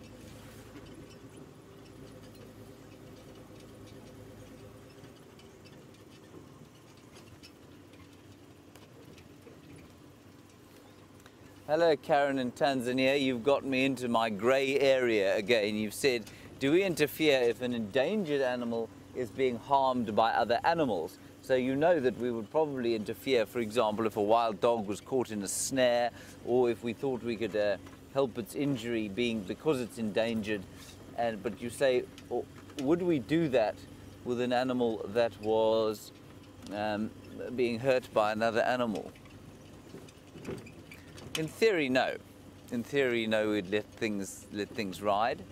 Uh, in practice, however, I think it's quite difficult to let things ride, to be honest. And I would find it certainly extremely difficult were I to come across some lions or something like that. And if I was to find them about to sort of, they were sneaking up on a cheetah or a wild dog, I would find it extremely difficult not to clap my hands and make a noise. And does that do any harm? No, probably not. I don't know. Is it particular? I don't. I don't know. It's where that grey area is. So in theory, we come into this area and we try and have no effect at all.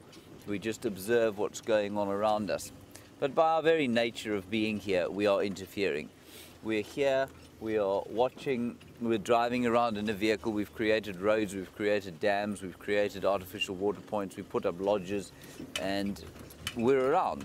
When we go into a sighting, the animals, the nature of the situation is irrevocably changed by our being there in a in a big vehicle. Unless you can view the thing, view animals from you know three kilometers up without them having any idea that you're there, it's impossible not to have an effect. So you can't really say when you're looking at an animal whether or not your being there has affected whether or not they would be harmed.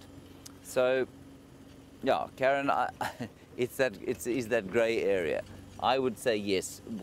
For an endangered species, almost certainly we would try and interfere. But it is a it's a nice uh, it's a it's a lovely topic that, and one that has changed. My views on it have changed completely over the years. You know, when I came into here, I was such a purist. When I started in this area, I thought you shouldn't do any land management, you shouldn't have any artificial water, you shouldn't bush clear the bush, you shouldn't be interfering at all. If something gets injured, you let it go. And I would have been scandalized at myself saying, ooh. No, these are civets. Civet tracks, I'm afraid, not baby leopards. I would have been scandalized at myself saying, uh, yes, you know, I might interfere. I don't know. I think it's very personal.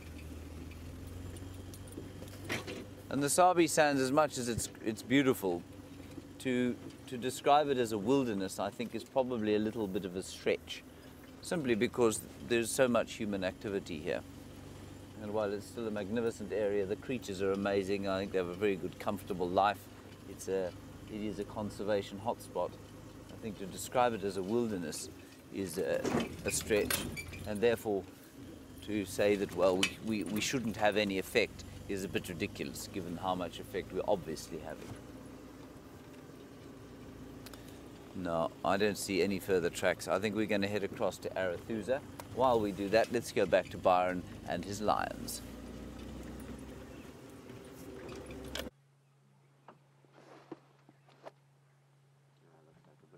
we have managed to clean our lens, and uh, one the lioness that was feeding stood up and just went and lay down, and now the other one has got up, and looks like she might start feeding. Look how full that belly is! Incredible. They really, really have had a lot of meat from this buffalo calf. These lionesses I assume, will stay here the whole day. Don't think they will will leave, but most likely finish this buffalo calf by this evening. The lions can eat a lot of meat. There, there's a potential chance they may still be here tomorrow morning because there is so much food there for them. But you never know. They could have hyena coming into the area. There's a lot of hyena activity around here. And if these lionesses are really outnumbered by hyena, they'll probably move off and try and avoid any confrontation. If there was a big male around, um, from what I've seen in the past, hyena generally keep their distance. They don't like those big males because they can do some serious damage and have killed a number of, of hyena in the past. Look at that female also using her carnass- carnassial shear.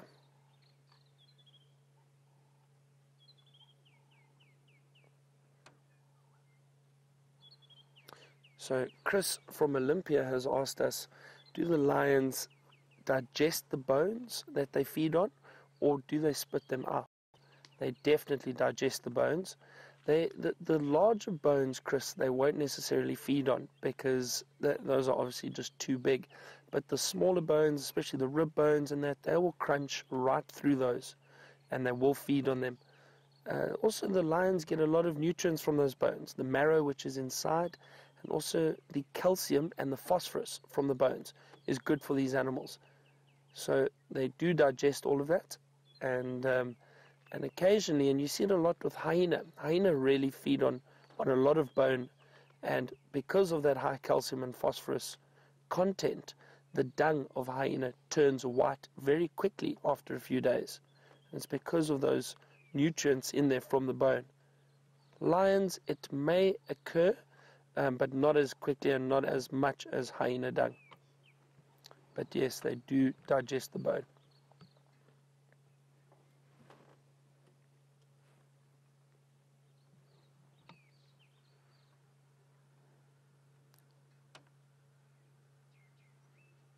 This lioness is now resting really nicely, full belly, very happy.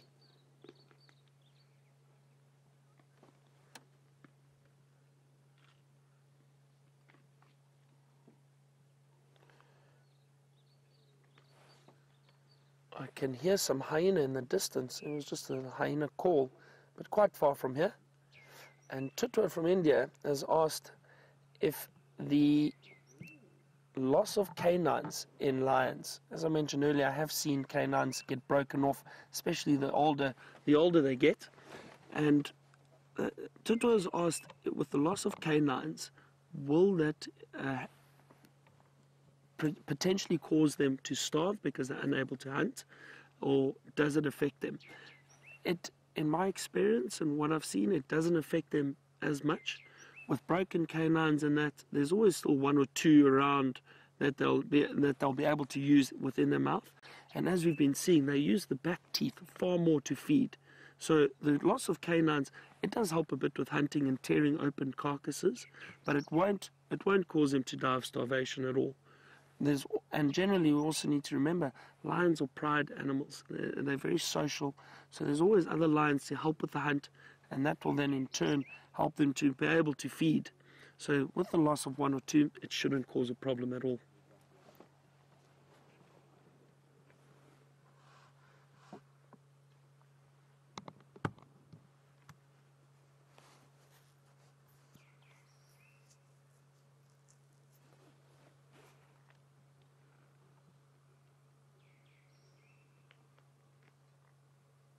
As the other lioness stood up a few minutes ago, we saw there's still a, quite a bit of blood on her paws. So this is definitely a fresh kill from. I don't know if you can see it through there a little bit. Those paws are still quite moist. So a fresh kill from last night, maybe even early, early this morning. But judging by the size of those bellies, they've been feeding for a while.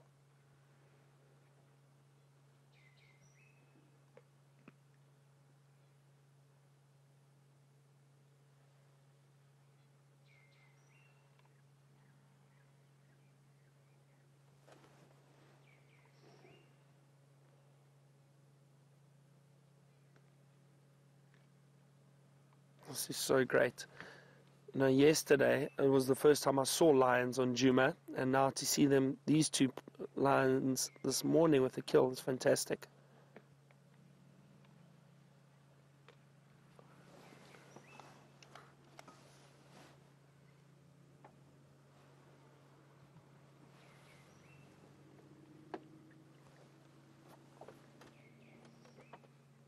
So, Sandy in Missouri would like to know what time of year is the best time to visit and what time is the worst time to visit. So, Sandy, I don't think there's a good or bad time to visit for a safari. You can visit any time of the year. Um, I personally really enjoy, you know, I mentioned this morning, winter for me is lovely in the bush, but I enjoy the secret seasons, we call them. So, kind of April, May uh, in southern Africa is very nice, and August, September. Those two months are, are quite popular too. But as I said, each season has got something to offer. In the winter, you've got these beautiful colors, cool temperatures, not as many bugs around. Summer, however, you've got the lush green vegetation, a lot more water around. Animals, uh, most of the animals also having a lot of young that time of the year and a lot more bird life. You get a lot of migrants coming back for the summer. So, so each season has got its its benefit. Uh, so, I think I think you should probably visit any time, but maybe try try both seasons and see which you prefer.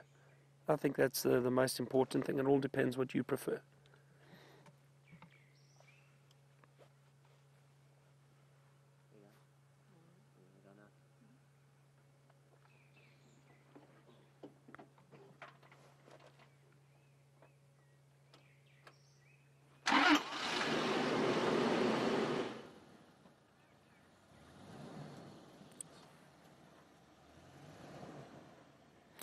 Shamson has just asked about hyena and if they would challenge two lionesses for the kill. I mentioned earlier that I think if if a number of hyena came in and because there is such a high hyena concentration in this area, if uh, if the hyena outnumber the lionesses quite a bit, yes, they will challenge the lionesses, and I have seen lionesses being chased off of a kill by a clan of hyena if there was a male in the area, I think the chances of that happening are are definitely definitely far less because a big male lion won't take nonsense from a hyena and he'll probably stand up and challenge them far more than these lionesses would. And often lions big male lions will kill a hyena if they do get too close. But two lionesses like this if they are outnumbered there is a chance that they could be chased off by a hyena a number of years ago, in 2009, uh, 2008, 2009, I saw a pride of lions uh, not too far from here, also in the southern part of the of the uh, Sabi Sand Game Reserve, where we are situated at the moment. And these lionesses were on a kill one evening, and when we got there, we could see all the all the commotion that had occurred that night, and hyenas had come in challenged these lionesses, and they actually, what they did was they attacked one of the lionesses who tried to stand her ground and fight off these hyena. And with them attacking, often what hyena do is they're very clever. They'll work together. One will go for the head and try and keep the, the head and the teeth and the claws of the of the lion occupied, while the other one will come around the back and try and bite the tail area or the rump. And this particular lioness was bitten on the tail and they bit her tail off completely. Didn't affect her in any way. She still went on and lived a long, happy life, but she did lose her tail in that in that uh, altercation with hyena. So it just shows you, just shows you that that uh, lionesses do have to be careful, or other animals have to be careful of hyena. James has got something interesting he'd like to show you. We'll stand by and wait for you to return.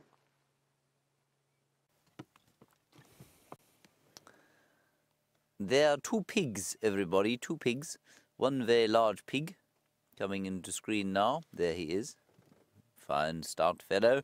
And a slightly smaller pig off behind him.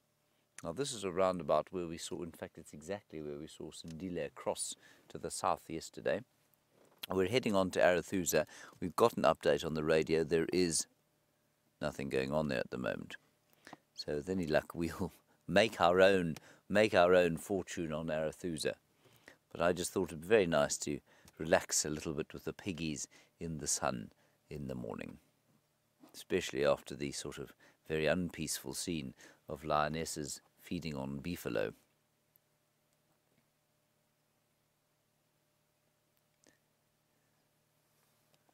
They are lovely animals, these warthogs, and it's so interesting to me how they don't that confiding here, especially the young boars.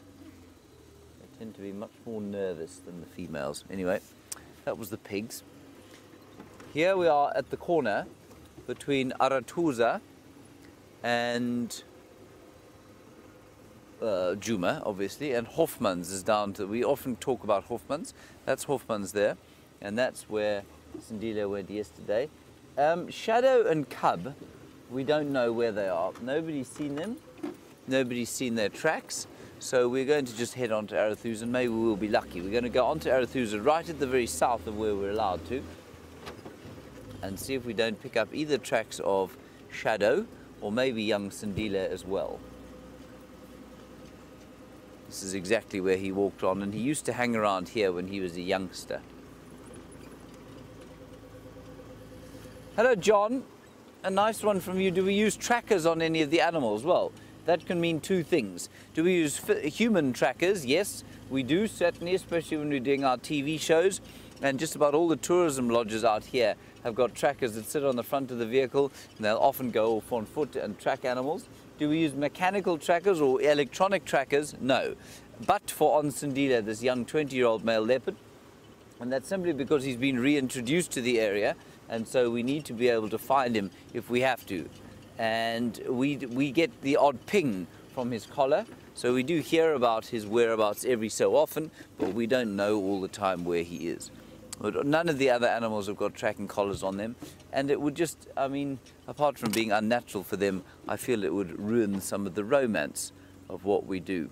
I've no doubt one day that nostalgic view of the world will be considered totally out of date and all of the animals out here will have subcutaneous tracking collars. There'll be some, there'll be like an, an, an, iPad or something sitting on the front of the vehicle showing you where all the animals are. And uh, that's how tourism will be done. I'm pretty sure that's eventually how it will happen, but that certainly, hopefully, will never happen in my lifetime. It's rather nice not knowing what's going to be around the corner. Here's some beefalo.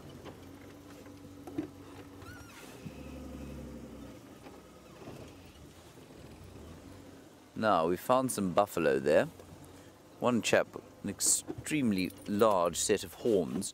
And while we look there, James Richard, you say, are there any examples of interspecies communication? For example, uh, baboons and monkeys.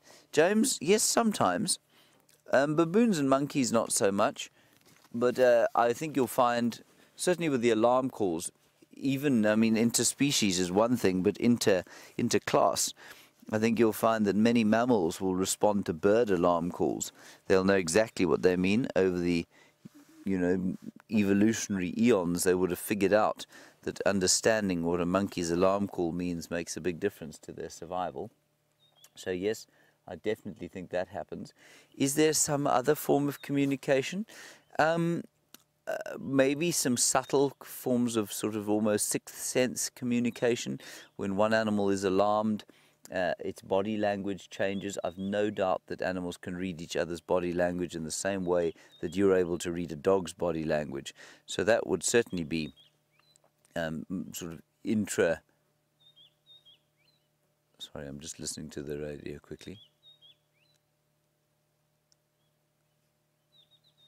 No, no, we're fine. Uh, and sorry, quick question. Quick. Let me just turn this down. It's starting to drive me mad. All right. So, James, uh, in terms of then, like, would would a buffalo understand an elephant's rumblings? No, I don't think it would. Would a buffalo understand a leopard's behavior were it to be stalking or were it to simply be walking past and marking territory? Yes, completely. I definitely think they would understand the difference there. So they read body language, they know of alarm, and I suppose there might be other more subtle things that they're able to pick up from each other, but I think those would be the main ones. Lovely sound of the white-browed scrub robin.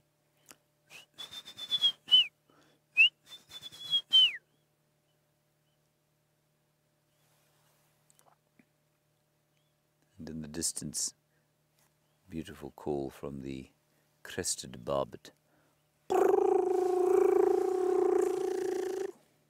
The alarm clock bird.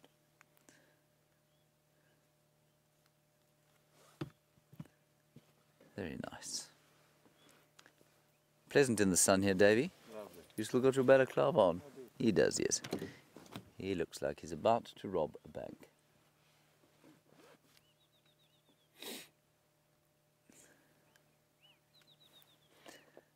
Hello, Lady Lone Wolf. Um, you, you want to know what is the most dangerous out of our big five? Lady Lone Wolf, I'm going to say a few things about that question. The first is that I find the big five, the term big five, to now be uh, fairly offensive, simply because it's an old hunting term and it describes the animals that were supposedly most dangerous to hunt.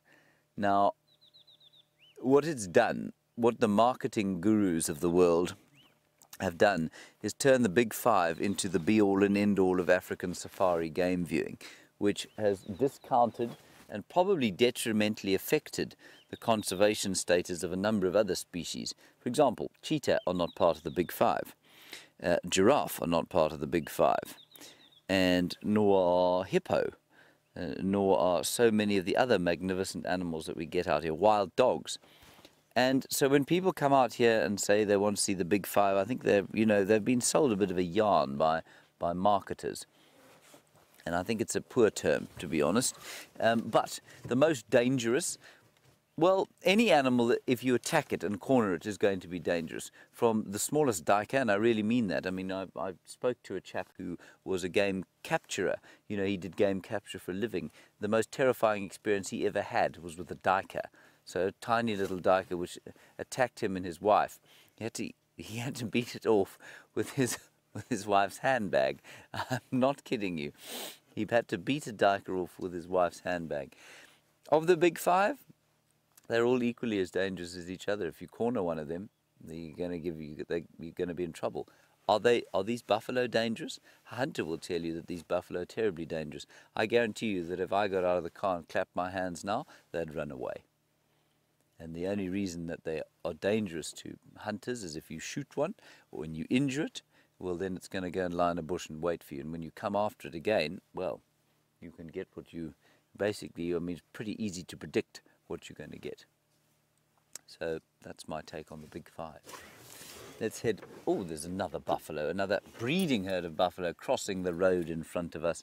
Unfortunately, that breeding herd of buffalo crossing the road in front of us probably lost one of their number at some stage during the night last night. They look to be in mourning. Let's head back to that hapless creature with the two lions and Byron.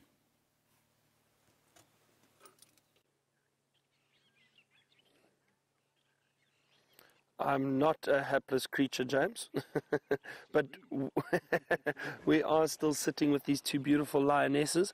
I hope James has a little bit more luck on Arathusa than more luck than we had yesterday afternoon, down on that side. Still just the one lioness feeding and the other one still resting.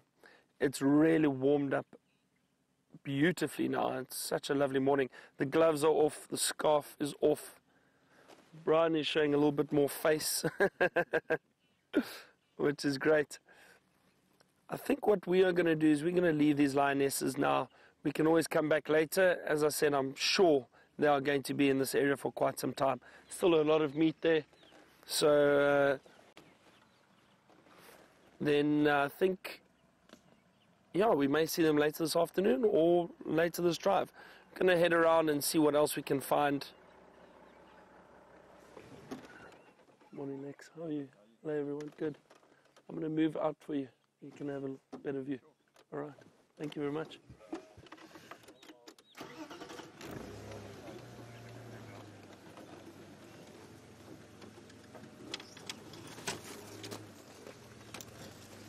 Beautiful, warm morning, isn't it? Enjoy, everybody.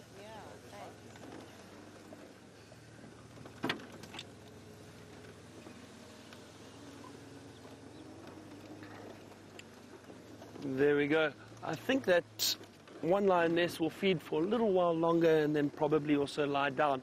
Find, find some shade. There's quite a bit of shade around for them.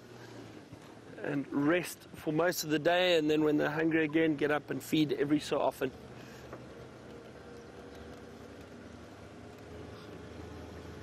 Right, we are going to head into the area of Treehouse, Treehouse Dam. While we do that, head over to James, who has got a live buffalo for you. No.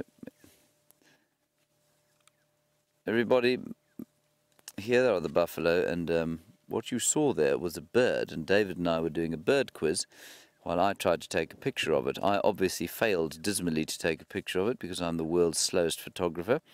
David, it was a fork-tailed drongo. Easily recognizable by its... Correct, its forked tail. Well done. and he and his friends will be following this herd of buffalo, picking up the bits and pieces that they kick up into the sand. Into the sand, out of the sand as they walk. Now, the reason I was distracted there and used the wrong preposition was there's a Coqui francolin. Now, David, that is the bird knocking about with a bright gold head over there. You see it? Isn't it beautiful? There it is. Isn't that lovely? The best francolin there is. My photographic skills are going to preclude me from taking a picture of it, but I'm going to try, and what we'll see is a golden blur.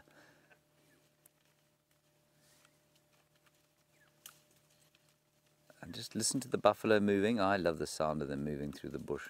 I find it very comforting.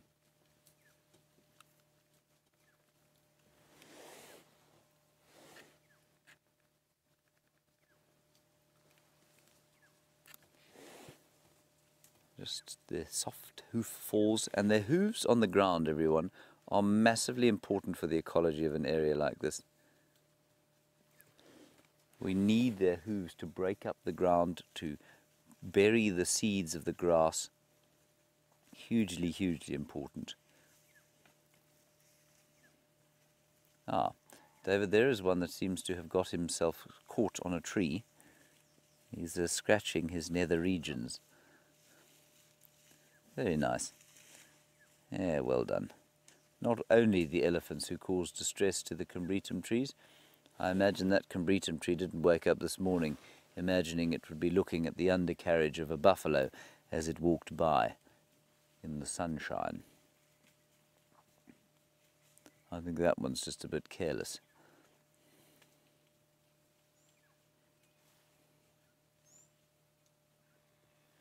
Now the herd seems to be settling down here, so I've no doubt they've been moving around. That's quite a new one, you know, probably only about a month or so old.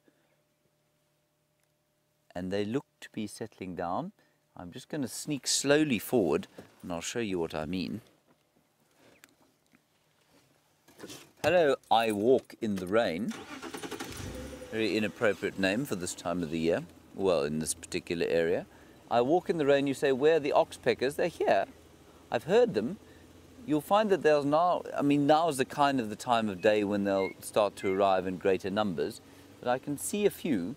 We'll try and find you some now. I'm just going to try and ease into this place here and hope that they don't move. There are some oxpeckers on the back of this cow lying here. Just going to try and move very slowly into position so that they don't freak out and run off. I'm always amazed at buffalo in this particular part of the Sabi Sands because, you know, we've watched, I've watched buffalo in the Sabi Sands so close that a rather naughty tracker I once had, I mean, he, I've, he slapped them on the backside before. They've been so close because they're so relaxed. But these chaps aren't quite, and they never have been up here. Don't really know why.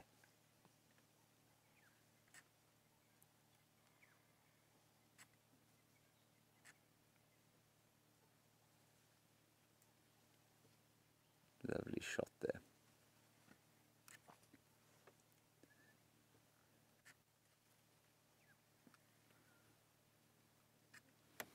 There the oxpeckers are irritating irritating that buffalo cow and she seems to be settling.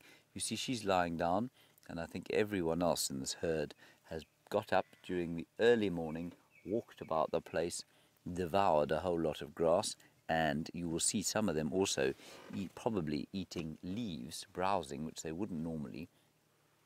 And then they're going to lie down and chew the cud like this cow is about to start doing now. And Dave, yeah, you could, if you just stick on that one that you got there, yeah, eating the strychnos bush. Now, strychnos, of course, we know the fruit has got strychnine in the seeds. The leaves are not supposed to be not very toxic, but Eugene, our tech fellow, um, who's currently quaffing good wines at Betty's Bay on leave, having a good time, I hope, Eugene. He cut himself once on one of those strychnos bushes and the cut became tremendously infected and it festered quite horribly on his arm. And so I, I imagine there is poison within those branches, but the buffalo are now in a slightly desperate state. Simply given the lack of grass.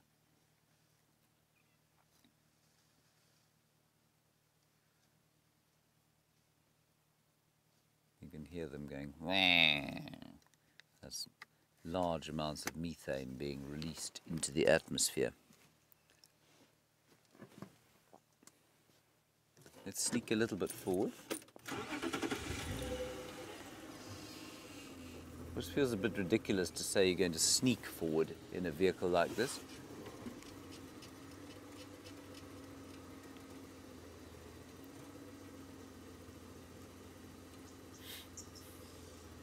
Hello, Donna. What a nice question from you. Sorry, the, the reason these, the, some of them are reacting is because the, there's a breeze blowing slightly sort of from behind us to, towards them. And they don't like that very much. Donna, you say do buffalo mourn their losses like elephants do? The obvious answer to that, Donna, is no, they don't. Do I know that to be true? Absolutely, I do not know that to be true, Donna. Um, I've I've watched fairly emotional responses from giraffe to losing youngsters. I don't see really why buffalo should be any different.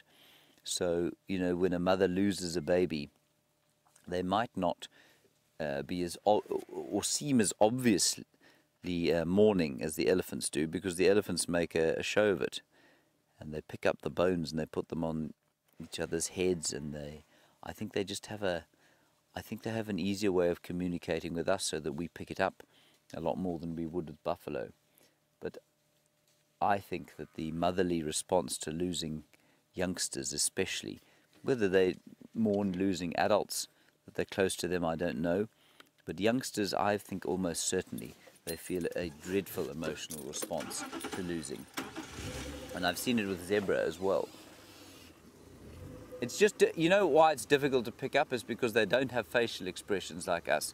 So it's it's almost impossible. You can't read an animal's emotion from its face. You can from a dog because it'll go like that if it wants to bite you. You can from a chimpanzee. It'll do that because it's showing you its teeth in the same way a dog does. Um, we smile, of course, to show our teeth. Uh, apparently, it's a sort of evolutionary throwback. But our faces are so filled with muscles that express our emotions um, that that's how we interpret each other. But a buffalo just doesn't have the musculature. So for it to be able to express an emotion with its face is almost impossible. And so while we talk about animals as not having emotions and saying, well, we don't think that they're emotional, we have no idea. It's just very difficult for us to interpret. And I mean, you've all seen an impala's face. You can't tell if an impala is feeling happy, sad, insane, mad, deeply depressed, overwhelmed with ecstaticness. I just used the word ecstaticness, David. It's not, in fact, a word, is it? What was I going for? Ecstasy. There we are. Yeah. I just didn't want you to get it before me. I'm sure you would have eventually.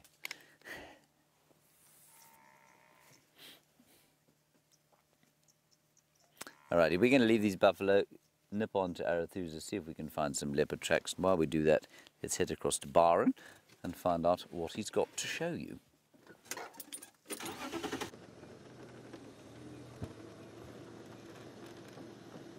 Great that you got to see that buffalo herd with James. There's something interesting I'd like to show you quickly. That buffalo herd, though, that you've got, that, that James had, is possibly the herd that those lionesses may have chased. Because that calf definitely must have been in a herd, and we weren't too far from Arathusa. So that's potentially the herd that that buffalo calf came from. Let me just show you something here, which is quite interesting. Out the vehicle, stretch the legs.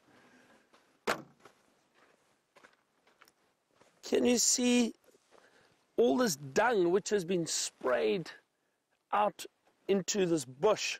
Now, this is very interesting. And why I say that is, and I'm not too sure if any of our viewers has got an idea of what this is from, but let me tell you quickly, this is from hippo. And why I say it's interesting is there's no permanent body of water around very close to this area. Just shows you how far a hippo can move when they're looking for food. What they do, and the reason they do this and spray this dung all over a bush, it's territorial scent marking.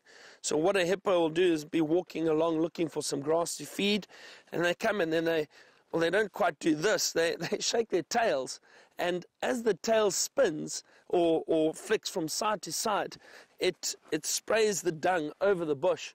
And that's to, to ensure that the, the dung is then put all over to scent mark their, their territory. And then the hippo, and I can see the tracks over here, it continued along the road and probably went off looking for some grass to, to feed on. So that is very interesting to see all the way out here. Just shows you the distances they can travel when it is very, very dry.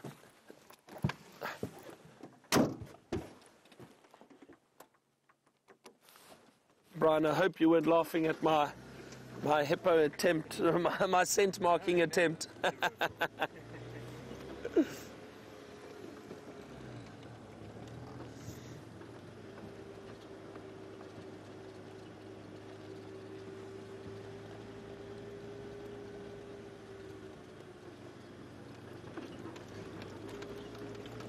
so uh, I didn't quite get that name. It sounds like Stay Beck uh, asked about animal impressions and what animal impressions I can do because most of the other presenters are able to do some animal impressions quite well. Uh, trying to think now, what, what animal impressions can I do? I think I can do a lion roar. Uh, perhaps, perhaps. Let, let, me see if I can try impersonate a lion for you. So we, we heard those lions calling last night, so that's why it popped into my head. And it starts off and it goes something like this. Mm. Mm. Mm. Mm. Mm. Mm. Mm. That's a lion in the distance, I think.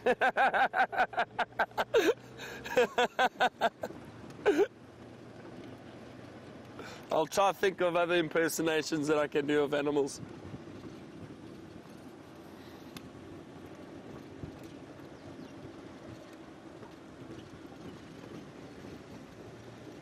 We're now just on our southern boundary. It's uh, the sun is out in full force. It's going to be a beautiful warm day today, and just with this cool breeze in the air, fresh, fresh air. It's amazing. Really, really beautiful morning. Fantastic to be out and to be able to show you all of this. We've had a great morning with those lions and the giraffe. I was really happy to see the giraffe. We don't get many giraffe moving through these areas. Every now and then they do. It is quite thick, and they also they, they, they prefer feeding on certain certain trees, especially a lot of the acacia that have got good nutrients in the trees, in their leaves. But uh, but you do get a few giraffe moving through every now and then, and it was great to see that one, especially because we had the question about giraffe this morning.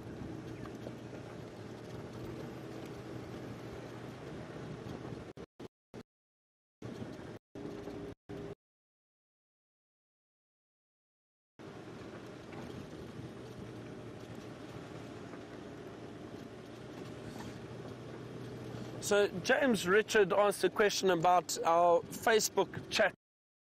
Facebook chat. And on that chat, I mentioned that I'd traveled to, to Australia and, and seen one or two zoos in Australia while I was out there. Uh, and James Richard would like to know what other destinations I've traveled to and areas I have been. Um, James Richard, I've been quite fortunate. I've traveled uh, a fair amount uh, into different areas. I've been to America when I was very young, though. I'd love to go back and uh, I want to see, you know, it's funny, but I want to see the big cities. I want to see New York again and, uh, and maybe Chicago and uh, Las Vegas. maybe just because it's so different and I'm not used to it. So, you know, to see those places would be great. But I've been to, uh, been to London, been to Ireland. Uh, recently, I went to Croatia and Greece, which was very beautiful, very different. Uh, so I have been lucky enough to travel around a bit but I would like to travel some more. Speaking about traveling, James has been traveling on Arathusa, and I think he has a jackal for you.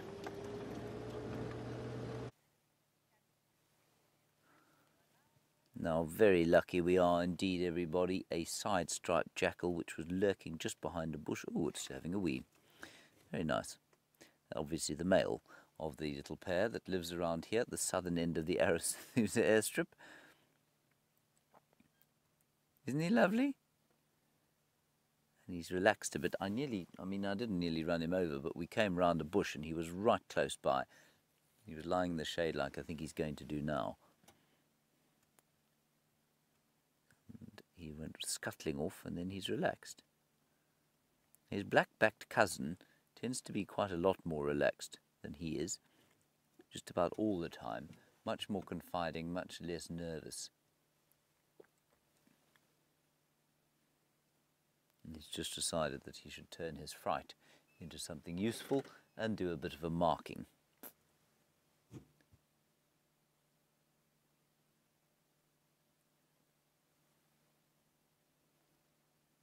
Unfortunately, he's gone now south of where we're allowed to be. So while we can film him in there, we cannot get the closer to him. Hmm, but Dave can. Well done, David.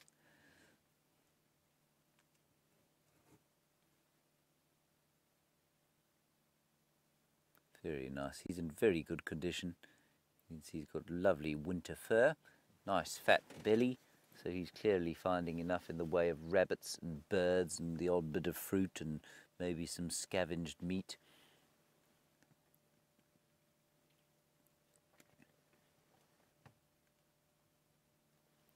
What a great sighting. I'm just wondering if he isn't going to fetch up with his partner. They're not quite as um, fastidious about maintaining their pair bonds, I don't think, than the black-backed version. But there should be another one around here, and Brent has definitely seen another one around here.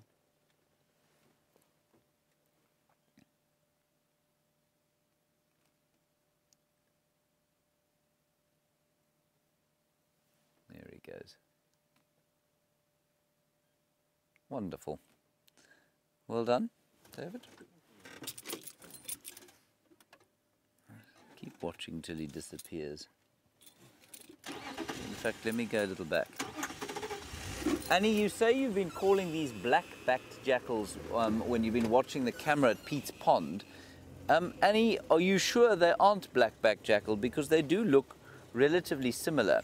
The black-backed just has a much blacker mantle underneath that silver mantle.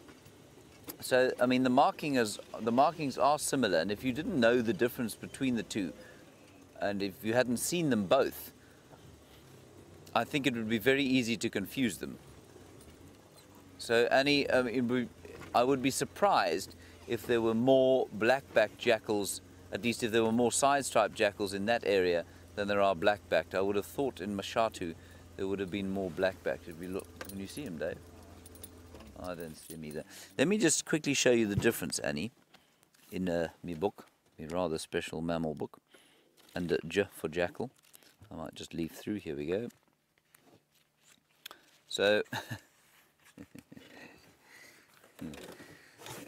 there, uh, that's called the common jackal, they've called it there. Let me just turn the page. Okay, yeah, no, these pictures are really not very good, but I give you an idea here. In fact, they're slightly ridiculous, mainly because they come from all over the all over the continent. So, sorry, let me get my earpiece back in so I can hear what's going on. So there's the black-backed, and there's the side-striped. Now that, if I mean, if you were to see the animal we've just seen and look in your field guide to see what it was, I don't think you'd ever identify it as this sort of um, well, fairly rodent-like looking creature. Anyway, that's what we were looking at.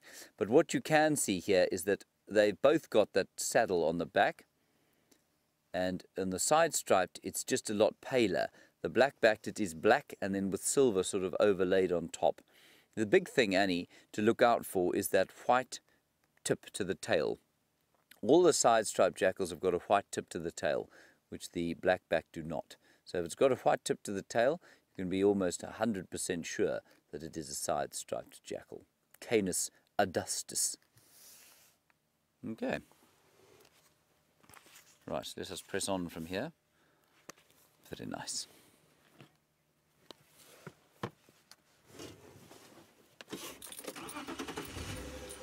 Hello, Aaron in New Zealand. You're wondering about the average litter size. Um, the average litter size of the side striped jackal, Aaron, is I think three or four. Stand by. Um, it doesn't say in this particular book. I'm going to go with three or four little pups. That's certainly what it is for the black-backed, and I imagine it's probably the same. So they'll be smaller than wild dog uh, litters, and I suspect it can probably be up to 10, but I would imagine three or four, maybe five, is, uh, is about the average. So slightly more than the cats. I will check that up for you, though. I'm not sure exactly.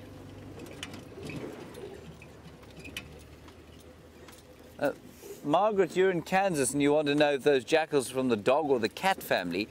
Margaret, they're unquestionably dogs. Um, they're actually more closely related to domestic dogs and wolves than are the African wild dog.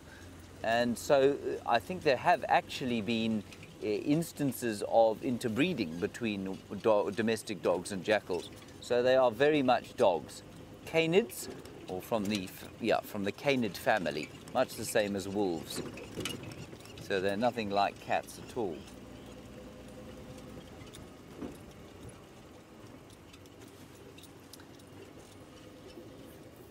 And Jim, you, I was just describing the diet of that jackal and saying, you know, probably filling itself up with a bit of a scavenged food, some uh, birds, if they can catch ground-dwelling birds, maybe the odd lizard, perhaps some fruit if there is any, and maybe, if it's very lucky, a scrub hare. I think there are probably quite a few scrub hares. You say, how much do they scavenge versus hunt or forage on their own? I think you, you will find percentage-wise, a black uh, side-striped jackal would probably catch, uh, I would say, about 80% of its own food, 20% scavenging. Byron has got a very short-tailed eagle to show you.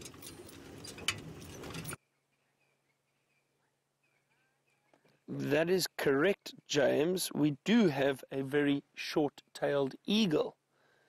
Now I'm going to ask our viewers back home if they have any idea what this eagle is. It's a beautiful eagle.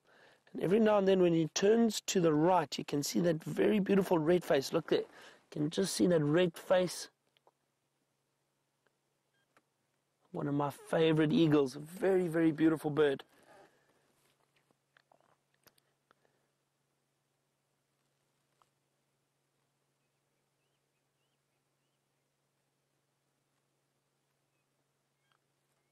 See if we can get some answers from any any of you and if who knows what what eagle this is or if you ha can hazard a guess. Now these eagles like to fly very low and they are scavengers. They do get to carcasses very quickly often before vultures do.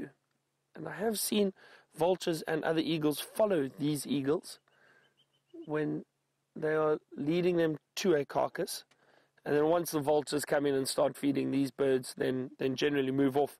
They- They're a bit smaller than, than a big vulture and they don't like to get into a scrap. So they fly very low, they try to get to a carcass quickly, scavenge as much as they can, and then they'll move off.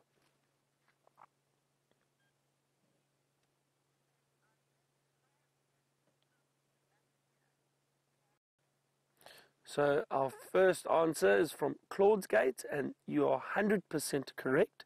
This is a Bateleur eagle. Very, very beautiful, beautiful eagle.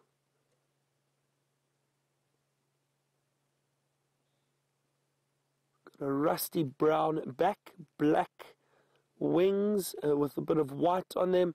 That red face, there's that red face again. As it turns, the light is perfect now. This is really great for photography. You can really get some nice pictures of this eagle up in that tree. Nice open, open branch. I've got a very rounded head. You see that? Very, very round, quite a large head.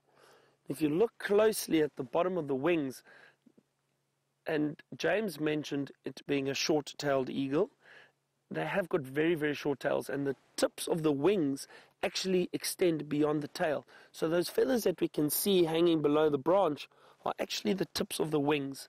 They are not the tail.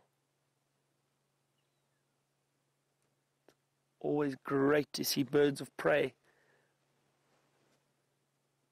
Any birds, uh, I really, I, I mean, I do really enjoy any bird, but but these birds of prey are just uh, are, are magnificent and sitting out in the open like this, probably warming himself up a little bit.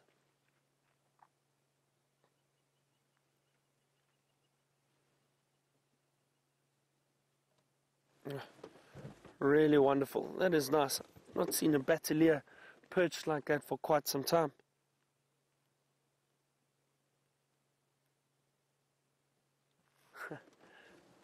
That was great. Really nice sighting of the bateleur. Let us carry on and see what else we can find.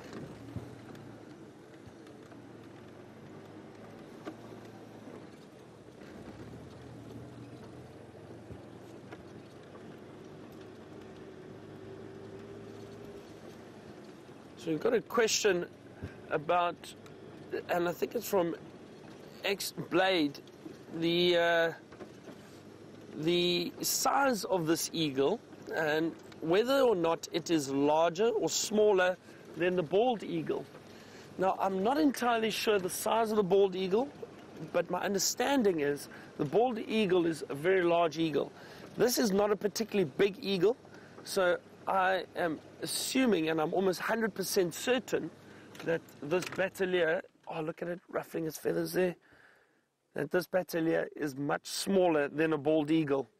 Much smaller than a bald eagle. Bald eagle also hunts a lot of fish, if I am correct, and will go down to water and try and haul fish out of out of water and around water's edges. So the, the wingspan needs to be very large for it to get off off the ground and carry prey up into trees. I've not seen bateleur carrying prey up into the trees. Uh, so so that would also cause the bald eagle to be a little bit bigger and a little bit more powerful. That is a really beautiful view. Oh, look, there it goes. You can see the lack of tail and have a look. Watch how it rocks from side to side. Brian, you are amazing. You are amazing to be able to keep up with that bateleur. But look how it rocks from side to side. They've got a very uneven or uneasy flight pattern. And the reason for that is because of that short tail. Makes it a bit bit more difficult for them to balance, but it gives them quicker maneuverability when they are flying low to be able to get to, to carcasses if they are scavenging. But you could see they've got that very distinct rocking movement while they are flying and they're very easy to identify while they while they are flying in the sky.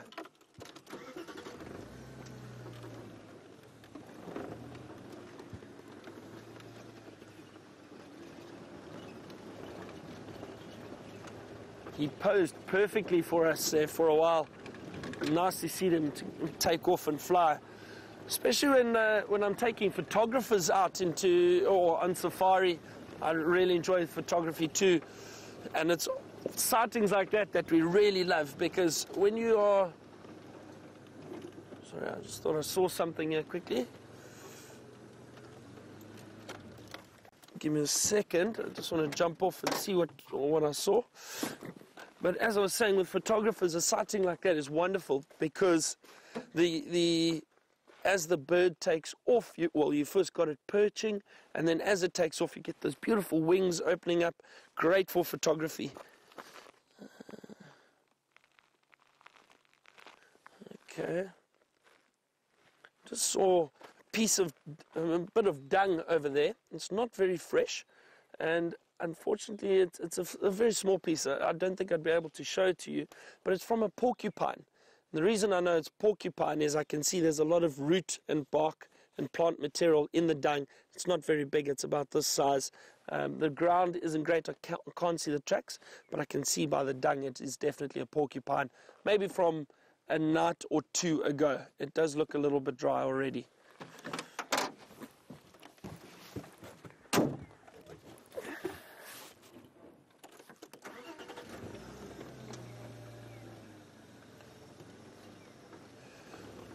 While we are carrying on looking for some wildlife,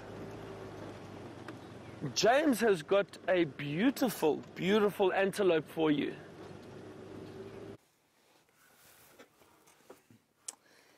Now, many of you, of course, have seen the male antelope, the, male nyala, doing their dressage dance around each other, but very few of you will know that nyala are, in fact, adept show jumpers as well as dressage uh, sort of exponents, able to do multiple equine disciplines or equestrian disciplines. And what we've been watching here uh, was the female sort of and the male she was being chased by the male and they were jumping over that log sort of in a circle. They would jump over it and then go around the bush and come back and jump over it again. It was rather amusing to see. Unfortunately now they've stopped doing that. The male is behind that bush there and i think he's chasing the female well i don't know why he would be chasing her because if she's going to be pregnant i'm pretty sure she would have been pregnant already because the breeding season is roughly the same as that of the impala.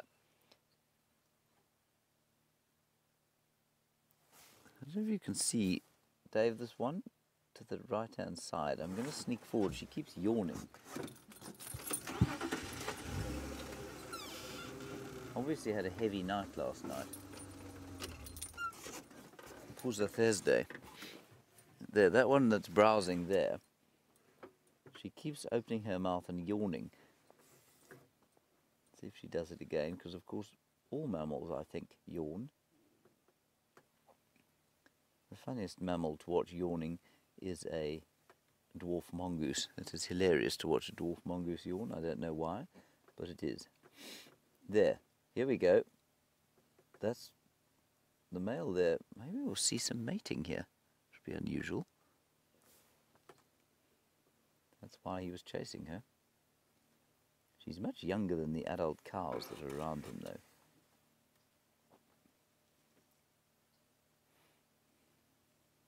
Dirty old man.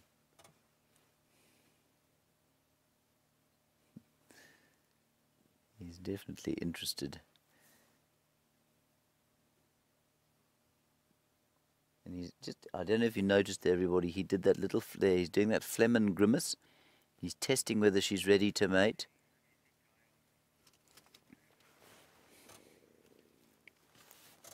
And perhaps decided that she's not quite as ready as he thought at first. Brilliantly coloured, don't you think? He's an exceptionally clever colour. But so are his cohorts. Let's go back a little bit. I think they're the most beautiful antelope. They're my favourite.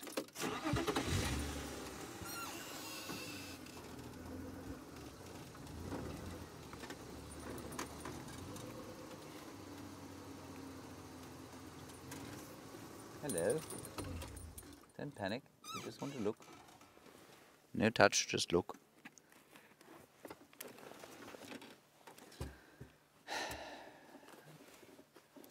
Sighing, of course, because that was such a lovely photographic opportunity. Naturally, I missed it.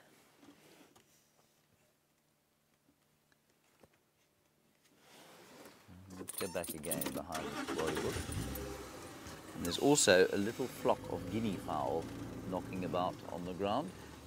And everything, I say this just about every time, every day at this time, things are warming up and calming down. That expectation of the early morning is sort of dissipating into the settled peace of the mid-morning.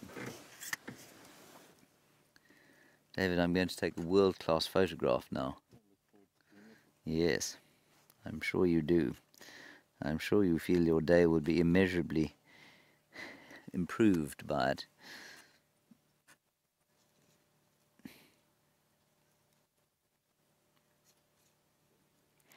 Hello, Aaron. Nice question from you. Utterly horrendous photograph. Um, you say, what is the diff- size difference between this and a mountain in Nyala? Well, a mountain in Nyala occurs in Ethiopia, and I will get its mass for you immediately.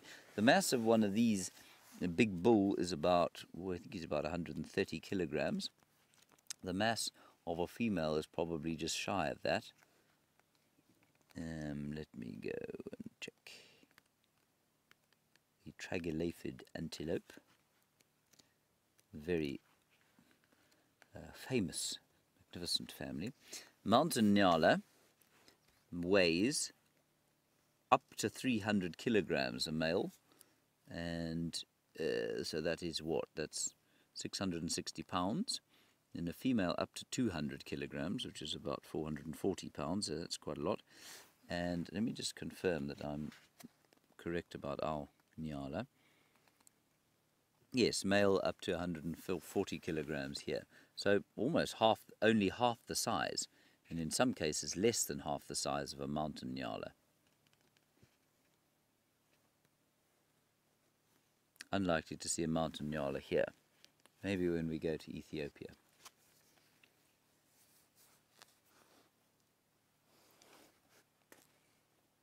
David, you getting warming up there? Dave's taking off a layer or two, everyone. It's not an elephant sitting on the back of the car.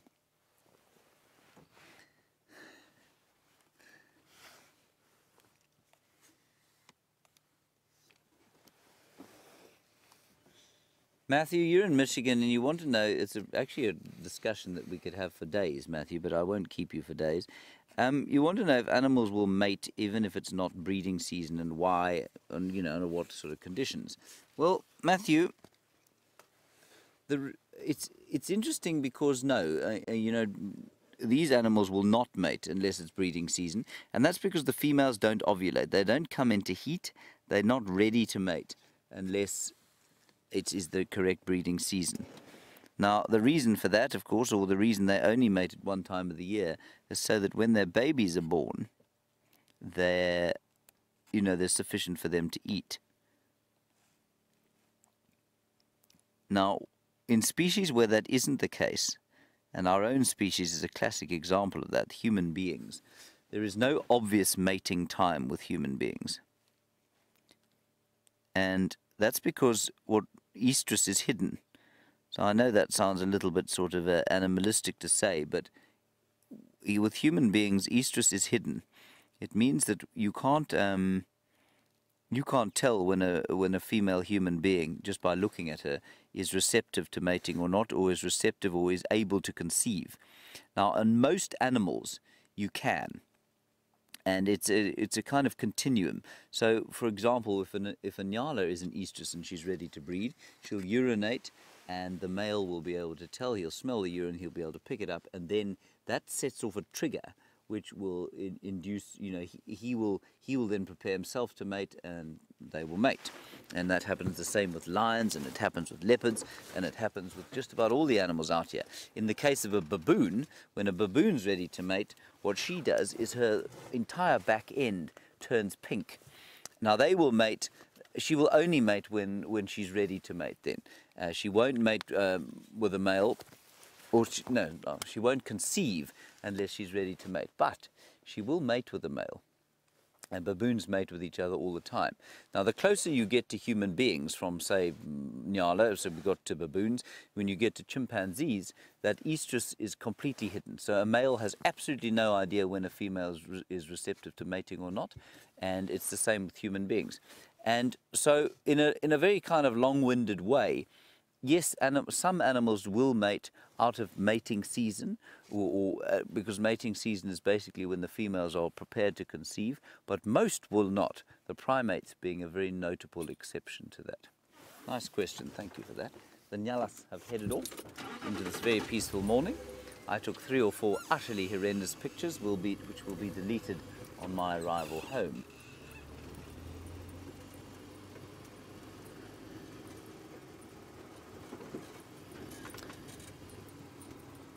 All right, let's go across to, to Byron. He is lost.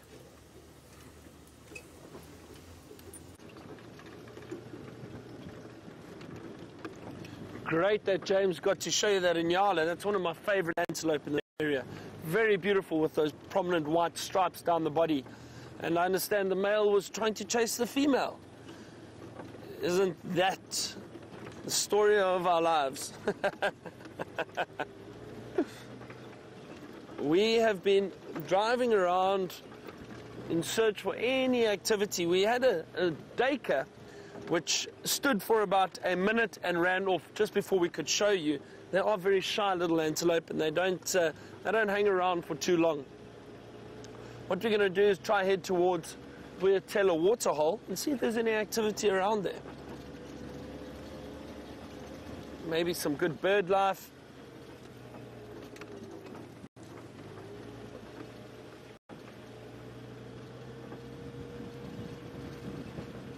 So Betty has asked me a question, and she would like to know what animal I think James resembles the most. Oh dear, this is, this is playing with fire, Betty. I'm not sure. Okay, let me think. Uh, James. I don't know if you heard that. I think you did it. Brian thinks a crowned lapwing. So He's James is built like a steenbok, very, very, very slim and agile. Um, but uh, I, I'm trying to think. He is.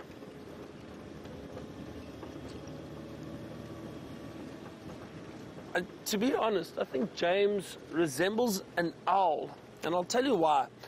Um, so I think the thin legs, definitely, but uh, but he's got a very calm nature about him most of the time, and and James is very wise. He's one of the, the most intelligent people I know, and he's a good friend of mine. But I think I think he resembles an owl. You know, he kind of sits in. You can ask him something. He'll give you advice, and uh, and then he. I just see like we saw that giant eagle owl the other day, and when they sit and they blink very slowly, and uh, James often does that, so maybe it looks like an owl or resembles an owl. Wise older James.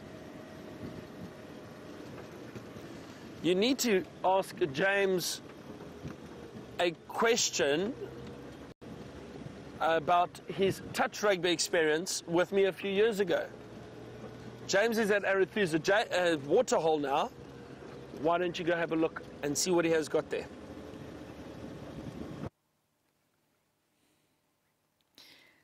It's a bit of a depressing sign here, everybody. It's we've got, of course, hippopotamus there that you can see, and all around it, all those kind of uh, snaky bits in the water. Well, those are catfish, and they're in the last bit of water. It's not very deep. In fact, it's it's pretty shallow in there, and I think they're probably having a dreadful, dreadful time. Look at them all. I mean, there are hundreds of them slithering about.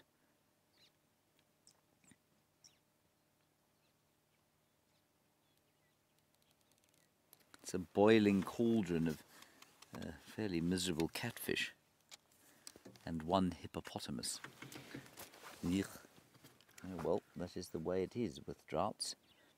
Can't believe how full this dam was when I started, almost or just over a year ago. But them days is over. Them balmy days is is now done. Very nice of Byron to call me an owl. I like owls very much. I'm not sure the reasons for his calling me an owl are necessarily very complimentary. Um, Byron, I suppose I would consider a buffalo actually.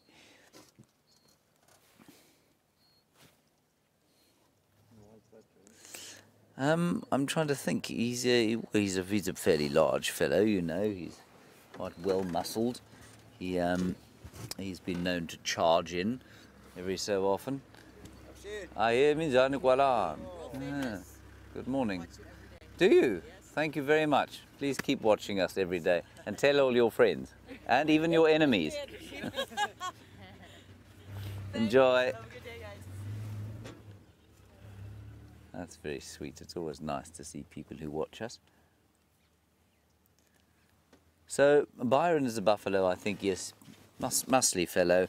Uh, he's, he, he, he, likes to charge in every so often. Um, sometimes not in the most considered fashion. There he is. You see? If you've ever seen Byron on a rugby field, you'll know exactly what I mean. He turns into a raging buffalo.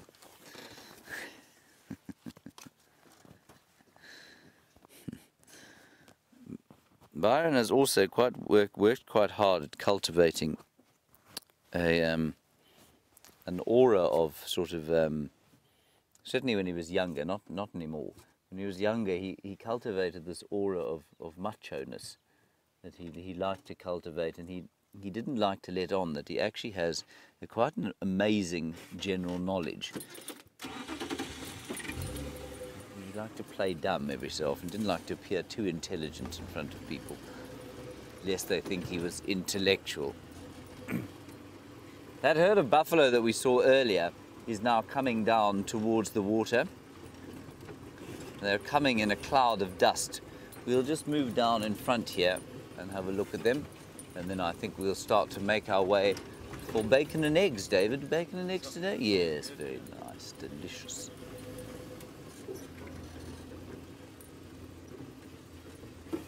All right. Let's go back to. We're going to wait here for the buffalo. Let's go back to Byron and a monkey herd. A monkey herd? Troop. Troop. Troop of monkeys.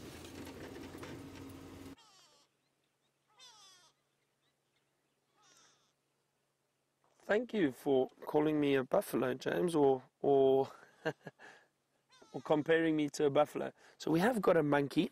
Uh, it just looks like one vervet monkey, not velvet, vervet. Uh, and he's just in the top of the tree at the moment, kind of hiding from us. Uh, only he's by himself. I don't see any others around, which is quite strange, I'm sure. But you do get sentinels within a troop of, of monkeys like this. They're probably one having a look out while the rest are feeding somewhere on the ground behind us, and maybe he's come to have a look to see if it is safe at the water hole for him to come down and drink. They do come down to drink at water. Let's see if I can reposition quickly, see if we can't have a quick glimpse of him. Up in this tree. I can try my monkey impersonation, my vervet monkey impersonation. That's an alarm call of a vervet monkey. There it is. There he goes. Oh, all the way up there. Jumping around there, you can see him clearly. Bit of banging behind us. It's just, I think they're doing a bit of maintenance at the Vuyatela Lodge. Just fixing something there quickly. This monkey still hiding from us. We're going to move on from the water hole now and go and move around a little bit, see if we can't find something else. While we do that, James has a large herd of animals which resemble me.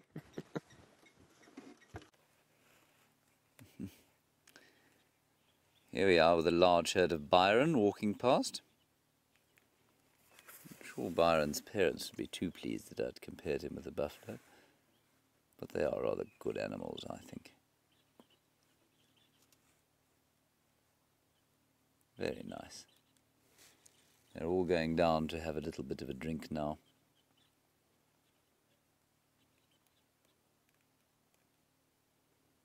As the heat starts to build, and as I've said to you, of course, many times before, they do need to drink often if they're going to survive the dry season, and that's not so much because the water, you know, helps them with the dryness.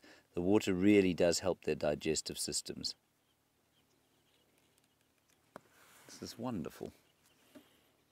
Brilliant sighting of buffalo. They're really coming quite close to us now, and like I said to you earlier, they don't really like that. Fantastic, kicking up the dust. Marvellous.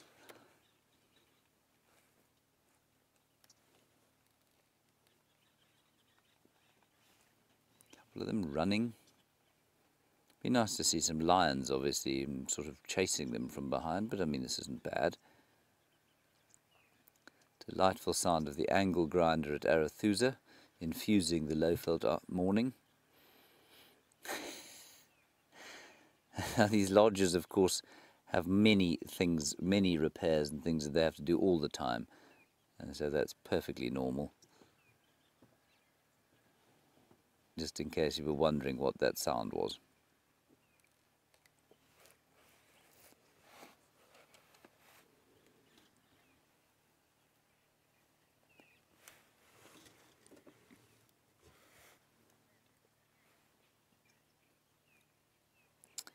Hello, Kim in South Carolina. Nice one from you. You say, How many people live in the areas that we traverse? Kim, um, none on the actual reserve, but outside the reserve, many. There are about four and a half million that live on the borders of the Kruger National Park. Uh, but none, no, no villages inside the park other than staff and uh, sort of conservation staff and tourism staff and, and that sort of thing, and administration staff. But there are no actual sort of permanent settlements, if you like, within the Kruger National Park.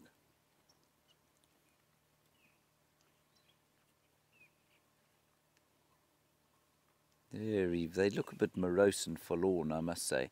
But you know, they're maintaining condition quite well. Buffalo will start to lose condition towards the end of the dry season. And I mean, some of them are start, you can see their hips already. And so you'll be able to pick up when they start to lose their uh, condition badly, you'll be able to pick it up immediately. They are, they are starting to look a little bit ropey at this stage. And you can tell that from the back hips sticking out. That chap looking at you on the right hand side of your screen is going to have a very impressive set of horns one day. They're very large for a fellow of his size.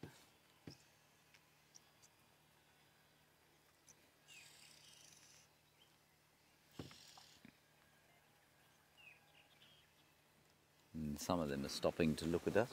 Others have made it down to the water. Let me just flick round. Just going to reverse slightly. Try not to freak them buffaloes out. And then we can see them going down to have a drink. I'm very glad I don't have to drink this water. The elephants will almost certainly reject this water out of hand because it's full of catfish, catfish dung, catfish detritus, buffalo dung.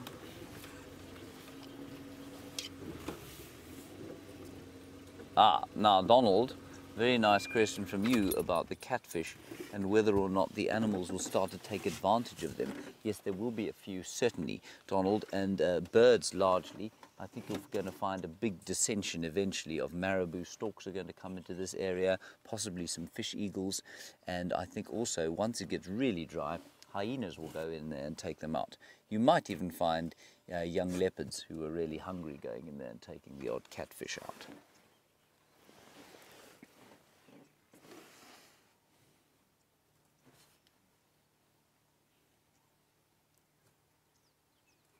Very peaceful. But for the angle grinder. yeah, well. So it goes. All right, everyone, I think we're going to leave these beefies to go down to the water and have a drink. And we're going to head for home to have our breakfast. See quickly. I just want to leave before the end of drive because I want to see if there aren't perhaps some tracks of shadow or some delay on our way out. I've taken rather longer than I'd hoped to get to this area. All right, while we do that, let's head across to Byron, find out what beefy Byron has managed to find.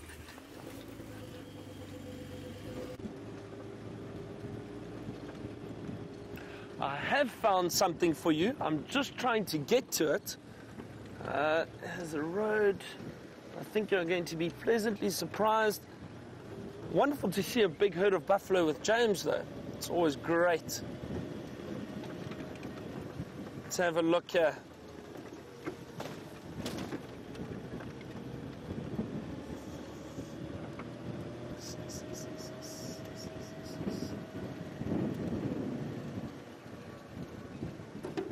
Ah, moved off just off to the left. We have a beautiful elephant bull just moving around by himself. There he goes. Oh, he's going back to the main road. Brian, let's ride around quickly and see if we can't get a view on the other side. Seems very, very intent. Just got a glimpse of him through there. Very intent on moving through this area quite quickly.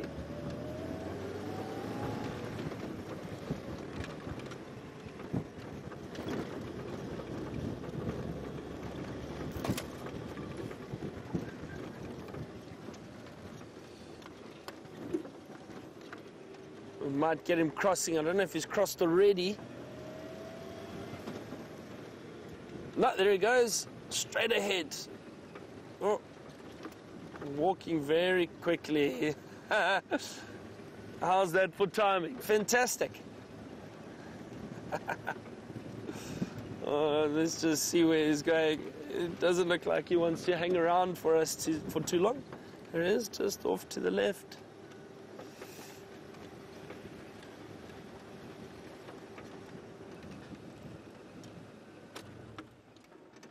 There he goes. Walking quite quickly. Possibility is heading into an area um, where you can find some water.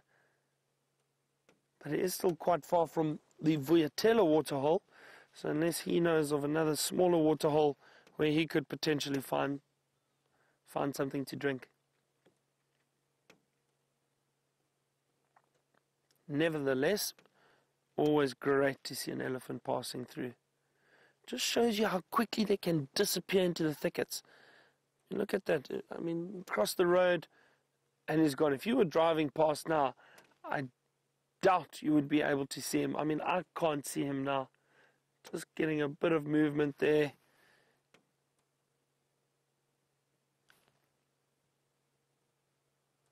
And he's gone.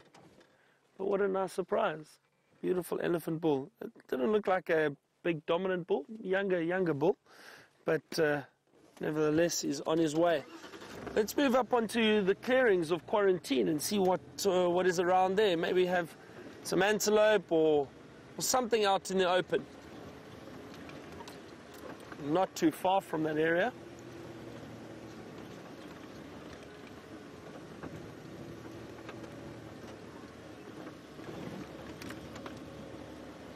beautiful marula trees up around this this clearing. It's a pity it's not summer. I'd love to go and pick up the marula fruit and eat them in summer. They really are quite tasty. That's why I think uh, animals like those elephants, they love they love them. They feed on those constantly. See if we can spot anything around here.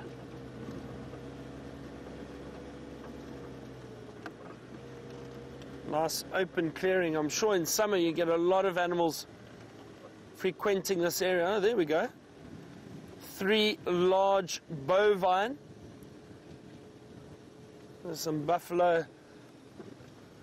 Not quite as many as you had with the herd with James. but always nice to see these buffalo. These are three, or no, four. Four old buffalo bulls just enjoying the sun and ruminating. If you have a look at that, that big one, especially to the back, uh, the back one, there we go, Brian, that one. Ruminating, enjoying the last bit of food. Well, it's been a fantastic morning with all of you. I hope you've enjoyed it as much as I have. So nice to be able to see the lion, elephant. It's a nice, cool morning, warming up beautifully. Really, really great. So thank you very much to Brian and the thumb. what a great morning. Always great to drive around with you. Thank you to the ladies in FC and thank you for all the questions this morning. Um, we will see you this afternoon. Have a wonderful Saturday, everyone. Let's cross over to James and he will say goodbye for the morning.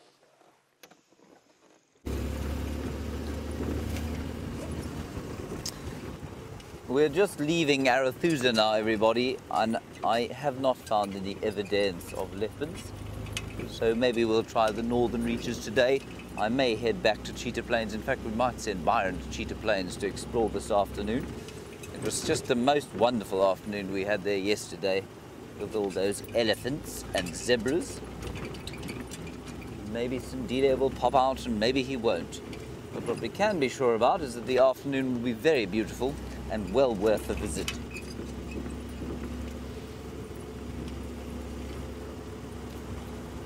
Until then, we are going to be enjoying our time at home. Today, for me, is a photograph deleting day. It's always a slightly dejecting time of my life. All right. Thank you, David, for your efforts today. Big thank you to all of you for your chats. Uh, we had a lovely time warming our mouths as we spoke.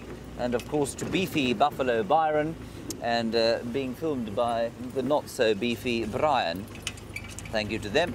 And the final control of Kirsten and Rebecca. Until three o'clock this afternoon, stay safe and happy wherever you are. Bye bye.